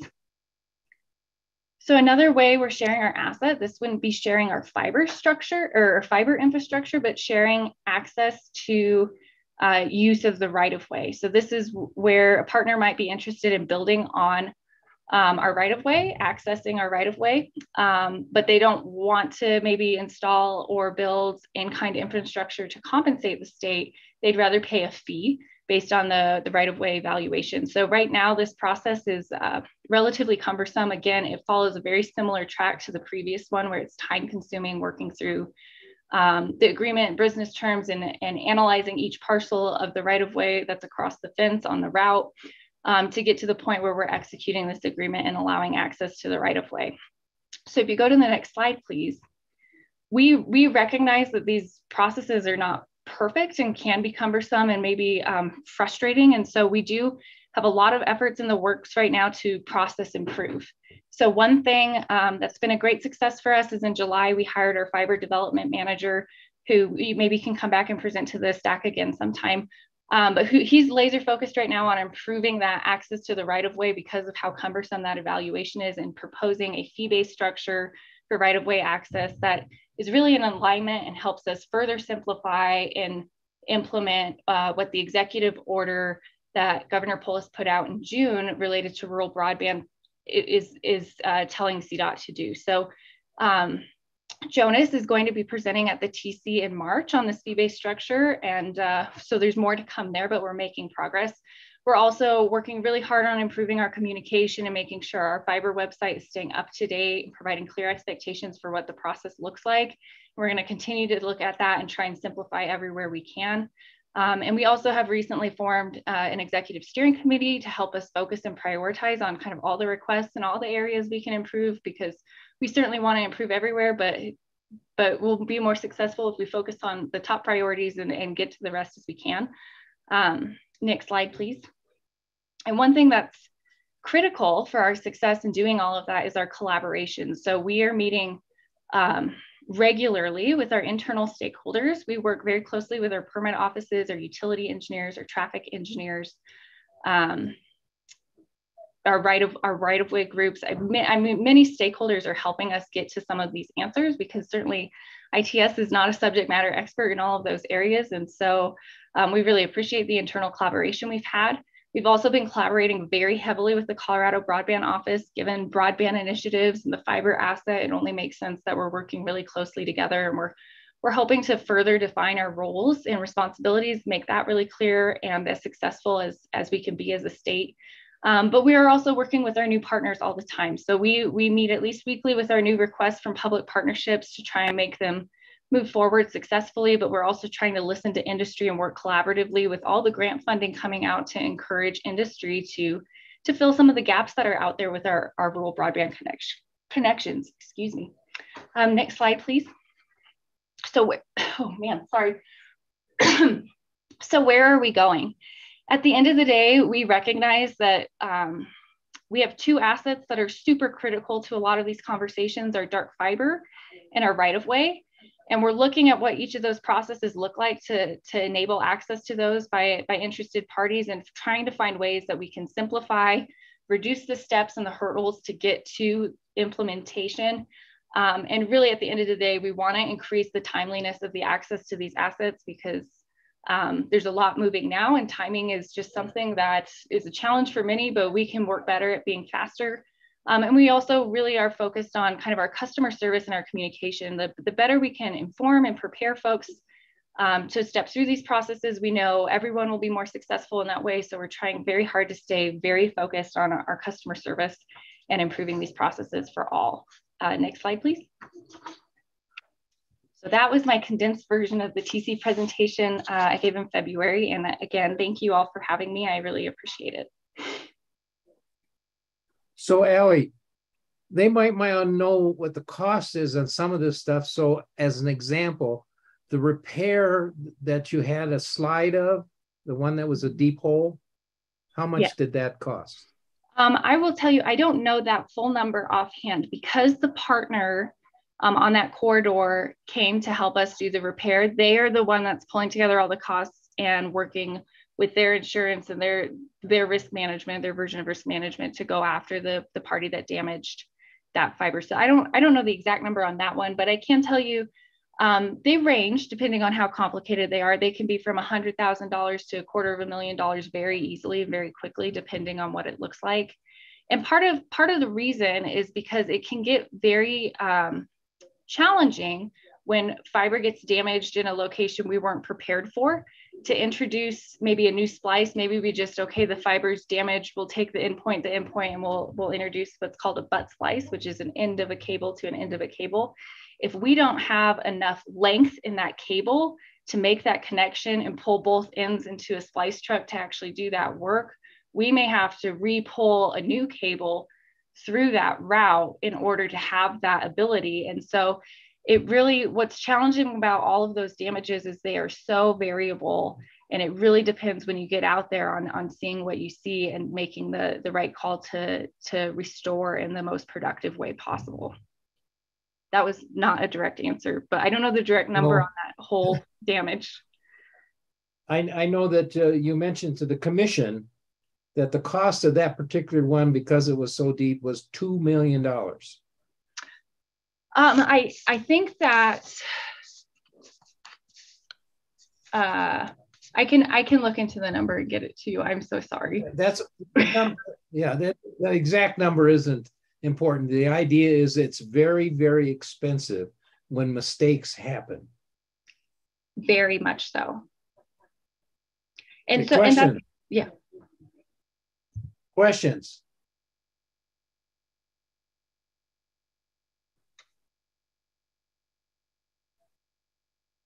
Okay, Ron. Hey, Ali, thanks very much for the presentation. Really, really great. It, the the fiber network is obviously a huge asset for our collective transportation system. Does does your access policy and fee structure and sort of public partnership policies differentiate between shared transportation purposes for use of the fiber network versus sort of non-transportation purposes? I will say we always try. So part of the statute that we operate under is, is about how you evaluate those unsolicited proposals. And it talks about how does this proposal contribute to the department's mission? So obviously as the Department of Transportation, we, uh, we, we would like to see some value brought to our transportation network in some way, improving safety or operations of the highway. But I think that the conversations happening now are, are really important about how rural broadband can enable maybe less commuters, can encourage uh, or uh, help contribute to the greenhouse gas initiatives. And so I, I think that conversation is, is still happening. So I, I don't want to say anything super definitive there, but um, we always try and be as, as creative as we can because we recognize wins can look a lot of different ways in, in coming to these partnerships. Yeah, I, just a just quick follow up. I, I think you know it, it makes sense to um, have a really robust uh, um, kind of program and policy to to manage the fiber network for sort of uses that are with private partners for kind of private profit right you've made a we've made we've collectively made a public investment in an infrastructure asset and sort of private private users for private profit ought to uh, contribute to those costs and reimburse the public for those costs. When we're talking about a transportation asset like the fiber network that connects multiple transportation systems and for ITS purposes and signal interconnects, maybe maybe we ought to think about sort of a different structure um, for uses by public agencies um, for that contribute to our collective sort of management of the transportation system and ITS. And I think the kind of the kind of fee structure that CDOT has proposed may be a real obstacle um, for that. And the policy of sort of a 30 mile minimum length doesn't necessarily apply to sort of a local jurisdiction that needs access to a relatively smaller piece of the fiber network in order to sort of interconnect multiple signal systems, including CDOT signal systems, when we have a regional approach like we do in the Denver region. I, I definitely hear you. I don't have a direct answer. I will I will say one thing that makes our fiber network very unique compared to industry is how often we we access it. I mean, 1300 splice points is is not typical for some of the providers that are on our right of way because we we do have that demand and, and the frequency of our, our technology assets. So it is something unique. And it does kind of change the way we have to look at managing and introducing additional splice points because we we have to think um, through how realistically we can degrade the network and still have communication on the full path because every splice point is an opportunity to lose light. It, it we just have a different um, challenge in, in how and how we're leveraging the network definitely. Yeah no no no doubt. And i think part from our perspective i mean when when the denver region through its tip has invested you know upwards of around $7 million over the years to help CDOT's, CDOT build its fiber network in the Denver region um, kind of charging our local government members for access to that fiber network for transportation purposes seems a little counterproductive to us. So I think I think we would just like to have some additional conversations with you and the team there about how we think about the system um, in the Denver region where we have multiple kind of traffic systems operating that um, where we have a regional strategy and, and have appreciated your participation in those past discussions about how we cooperatively and sort of co- in a coordinated way manage that whole system in the region. Definitely interested in having more conversations. Thank you. Any other questions? Okay, that's two excellent presentations that I've seen. Thank you. Okay, uh, next item on the agenda is uh, Region 5 is going to give us an information update. Good morning, STAC. I'm Julie Constance. I'm the Region 5 Transportation Director. Um, so there was some discussion amongst um, a number of upper echelon executive, management within the organization of CDOT to start having some highlights of some of the things that we have going on around the regions in the state, uh, just because not all STAC really engaged um, with other regions uh, from that perspective. So Region 5 is going to go first, and Region 5 is in Southwest, South Central Colorado. We have 15 counties that we oversee the highways uh, within. Our very northwestern border is uh, the western half of Montrose County, and then we go down to the Four Corners, across Wolf Creek Pass, and up into Chaffee County through the San Luis Valley. So we have a pretty diverse region. We're the least populated region within the state, and we don't have any interstates, which some days is a great thing, but when it comes to funding, it definitely impacts our funding, and we're the lowest funded region in the state. So we're constantly trying to figure out how to creatively fund projects which that brings in our partnerships with our locals. We really rely upon all those partnerships with our locals and our TPR reps to try and team up as much as we can on these projects and keep funding flowing into this part of the state. Um, and then one other thing to note, we do have 13 mountain passes over 18 or over 8,000 feet within our region. Wolf Creek Pass, Red Mountain Pass being some of our more infamous passes, along with La Veta Pass. Um, so today, David Valentinelli, who's our project director, uh, for our major project that we have done in the region. It's the largest project Region 5 has ever seen. Is going to give you guys a presentation and an update, as well as Tony Katie, our Region Environmental Program Manager, I think will kick in too. So I will pause there and hand it to David.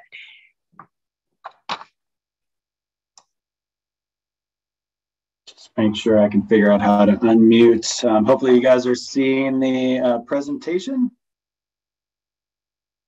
We are, and we can hear you too, David. Okay, awesome. Thank you so much. Uh, good, good morning. Um, let me reduce this, sorry. Uh, my name is David Valentinelli. Uh, I am the resident engineer in CDOT's Region 5 and also serve as the project director on the US 550 uh, Connection to 160 Design Build project, as, as Julie just said. Um, I wanted to give you uh, the opportunity, or thank you for this opportunity to provide a brief overview and update on this critically important and regionally significant project.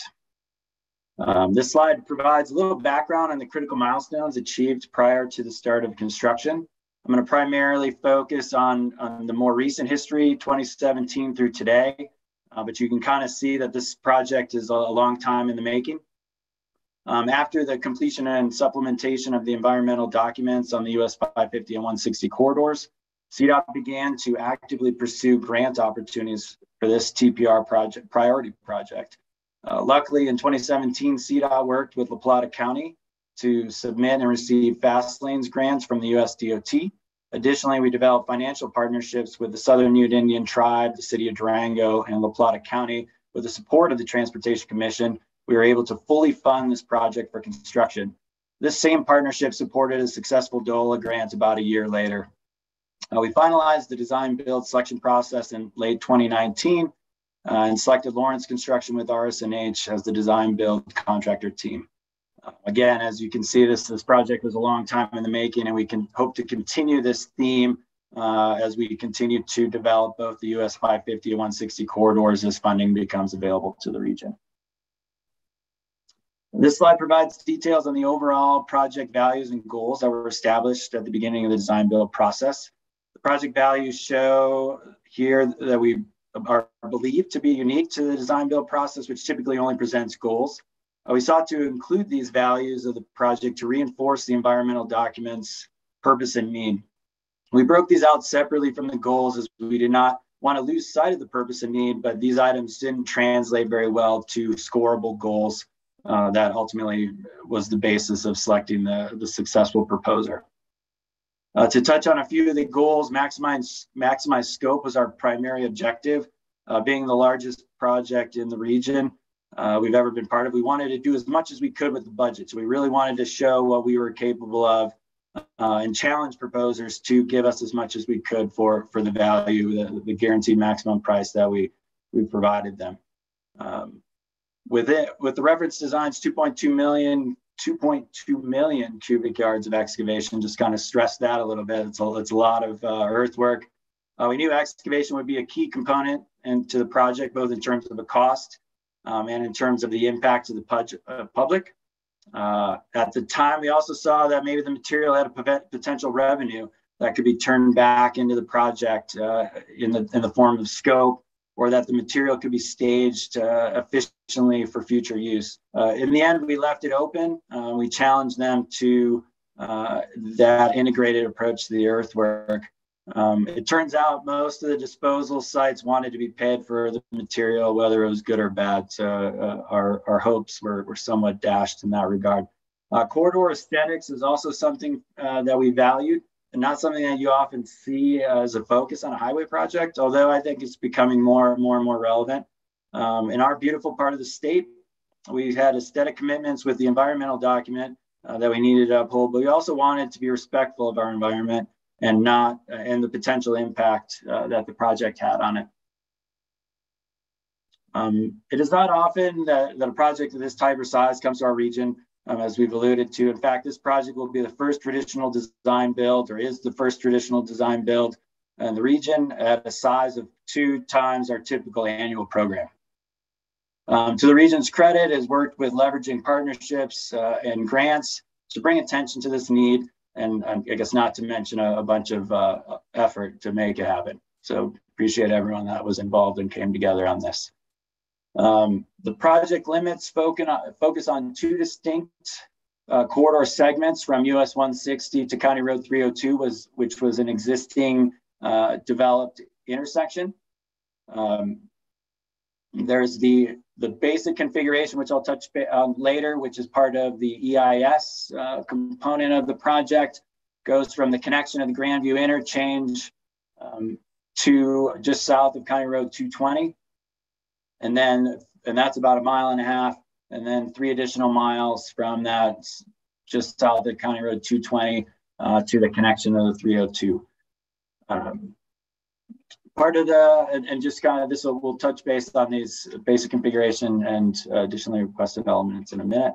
Um, part of the safety values uh, designated in the environmental documents was to eliminate the signalized intersection at the bottom of Farmington Hill, um, which, which is a steep, shaded, potentially icy and windy approach. The new alignment uh, takes the six to 8% grade of the current route um, to a three to four and a half percent climb with widened shoulders that meets current standards. The basic configuration key components was, uh, as kind of highlighted from the other slide, to um, to realign the, the interchange, so to remove the, the 550 traffic off the, the steep windy 550 uh, Farmington Hill grade, um, create a four lane facility uh, although a, climbing lane was was committed to and as the fast lane, so we we upped the ante and added a, a both both directions, uh, two lanes each direction.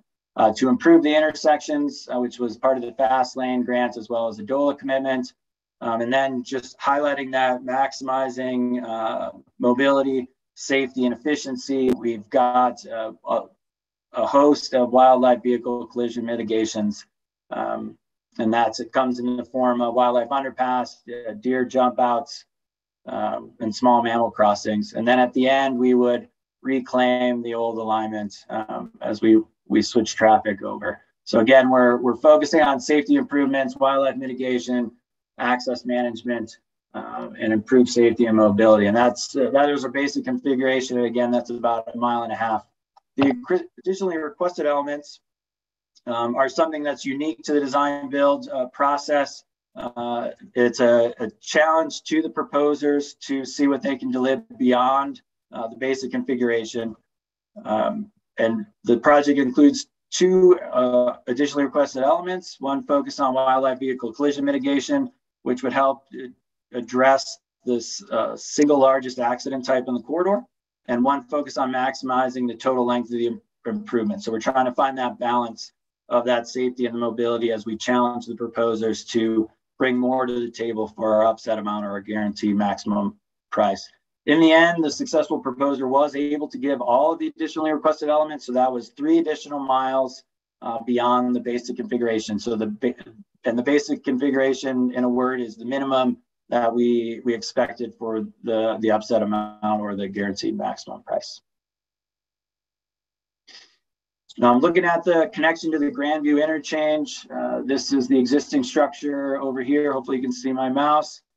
Um, the reference design included a, a, fairly large inscribed diameter roundabout circle, um, resulting in a large cut. The, the proposer, one of the innovations that were, were brought to the table uh, was this more efficient uh, roundabout design, focusing on the, the primary legs of, of the flow north-south um, and while accounting for the rampy interchange within the interchange, um, this reduced the cut, the amount of cut um, and amount and the amount of impact to the the environment. Um, and this, in turn, they turned into additional scope. Um, just again, another just general picture of the uh, the project. Uh, this barrier separated uh, highway section was developed in the in the reference design uh, and taken forward with by the proposer. Um, this limited the amount of cut that we had to do as we were climbing out of the um, the valley, so to speak. Uh, and that one of the mechanisms to reduce the amount of cuts that we had. Uh, so keeping keeping the section tighter up top as we climbed out of, of uh, climbed up to the top of the mesa. And then once we were on top of the mesa, we opened up the section to help facilitate uh, intersections, U-turn movements, and, and the like. Um, just highlighting some of the benefits of the design build that we saw from, from this project, the innovation that, that the contractor team brought to the table um, was a, uh, a reduction of the excavation quantity by 1 million cubic yards, uh, fairly substantial. And that resulted in eight and a half acres less of disturbance.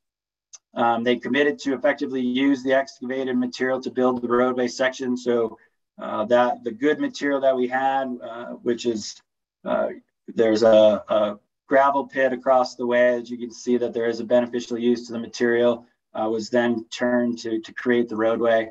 Um, so we're we don't have to. There's not a lot of waste, and and we we benefit from the quality of material.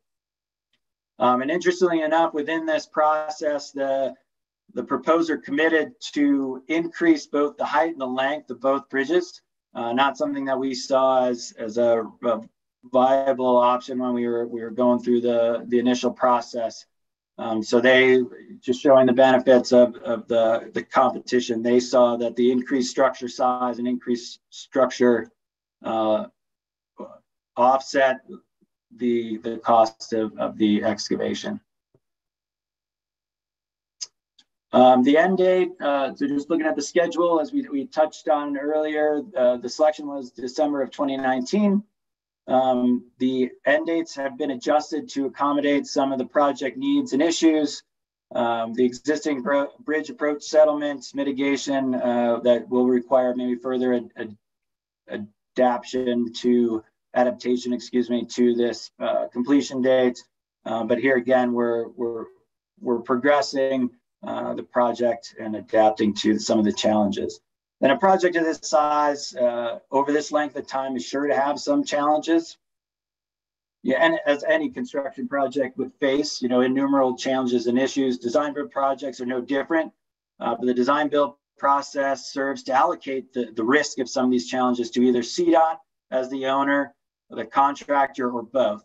Um, this slide provides a list of some of the more onerous issues and risks uh, that have we have needed to address during the life of this project. However, I just wanted to focus on a couple just uh, for time's sake.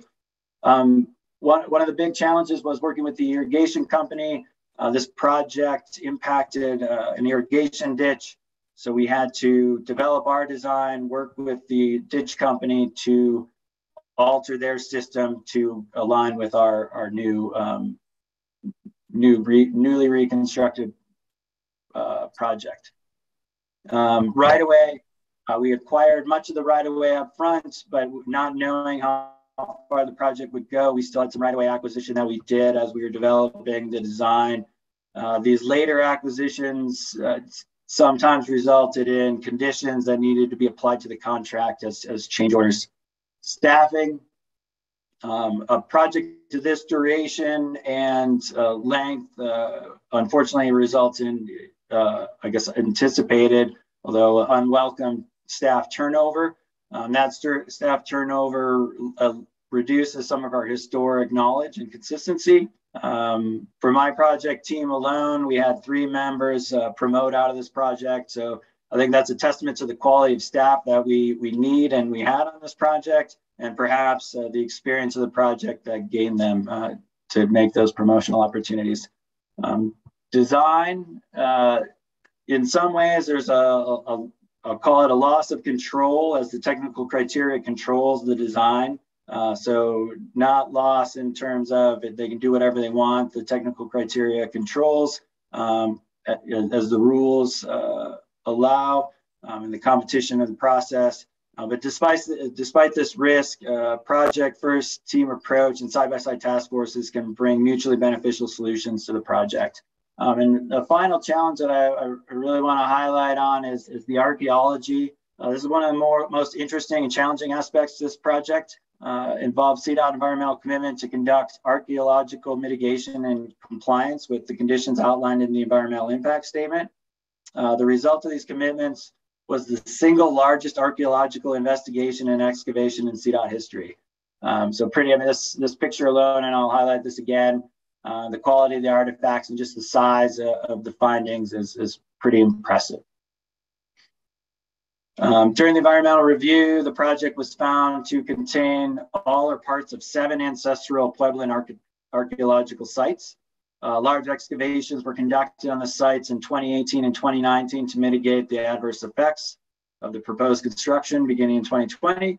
Uh, three of the sites were found to contain substantial significant remains, including 12 pit houses, uh, surface room blocks, tens of thousands of stone and ceramic artifacts, four generally intact human uh, burials, uh, and many scattered human skeletal remains.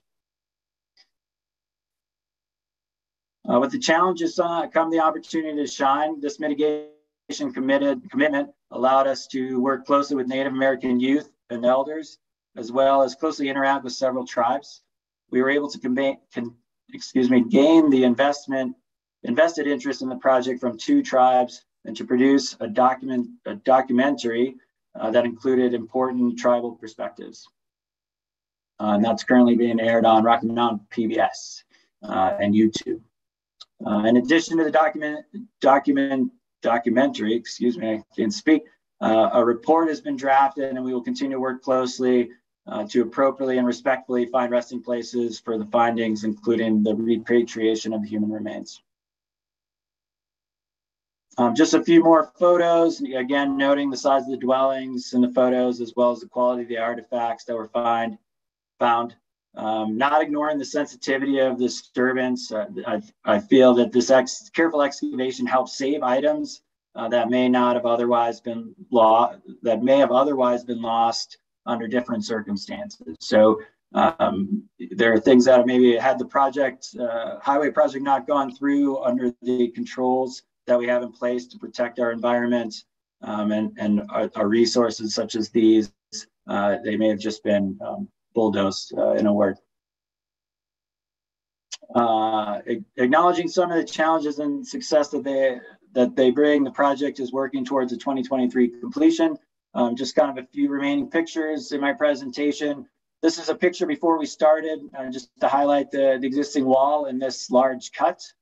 Uh, we are bridging to the future in this project, and this the snow unfortunately takes a little bit of away of it, but you can picture that the wall was here, much bigger, and that you can the cut. This is the cut slope currently, so just kind of flip back and forth. Um, just to get a perspective of the amount of material that, that's being moved to make this connection. We have to go from this grade, this elevation, up to this elevation, but uh, over a mile and a half. Um, another perspective of the Grandview interchange, again, Grandview Bridge uh, over 160 in the foreground. Uh, the roundabout would be just beyond uh, within this cut.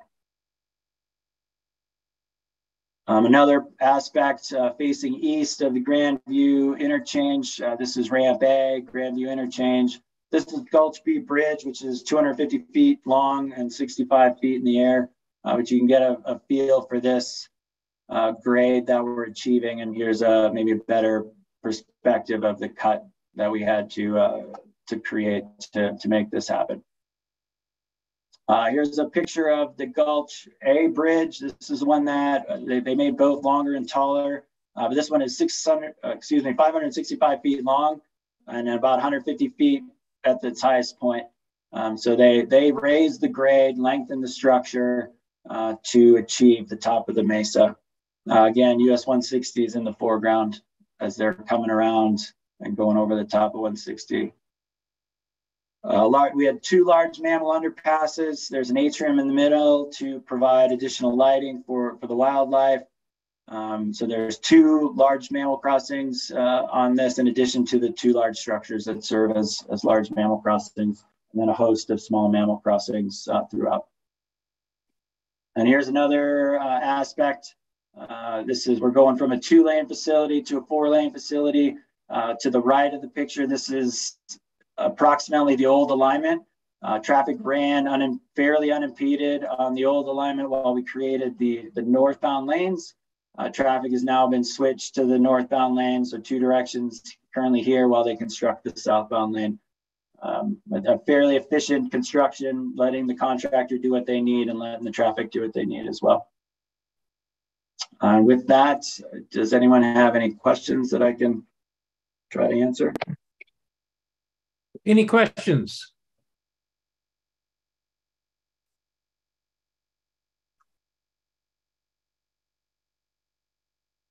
I do appreciate your time. Hopefully that was uh, beneficial.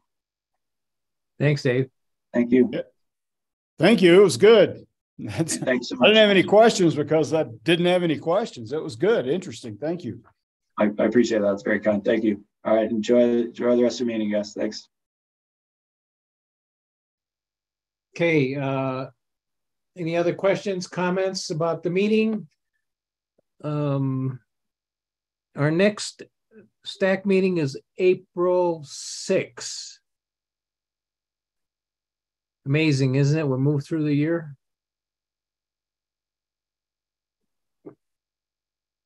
Okay, so here's a slide of what's coming up and action items is the STIP. Program distribution starts in July, and this is for the 2050 plan. And then uh, Mayview uh, 2023 STAC work plan of anticipated gender uh, agenda topics here. Other comments? Questions?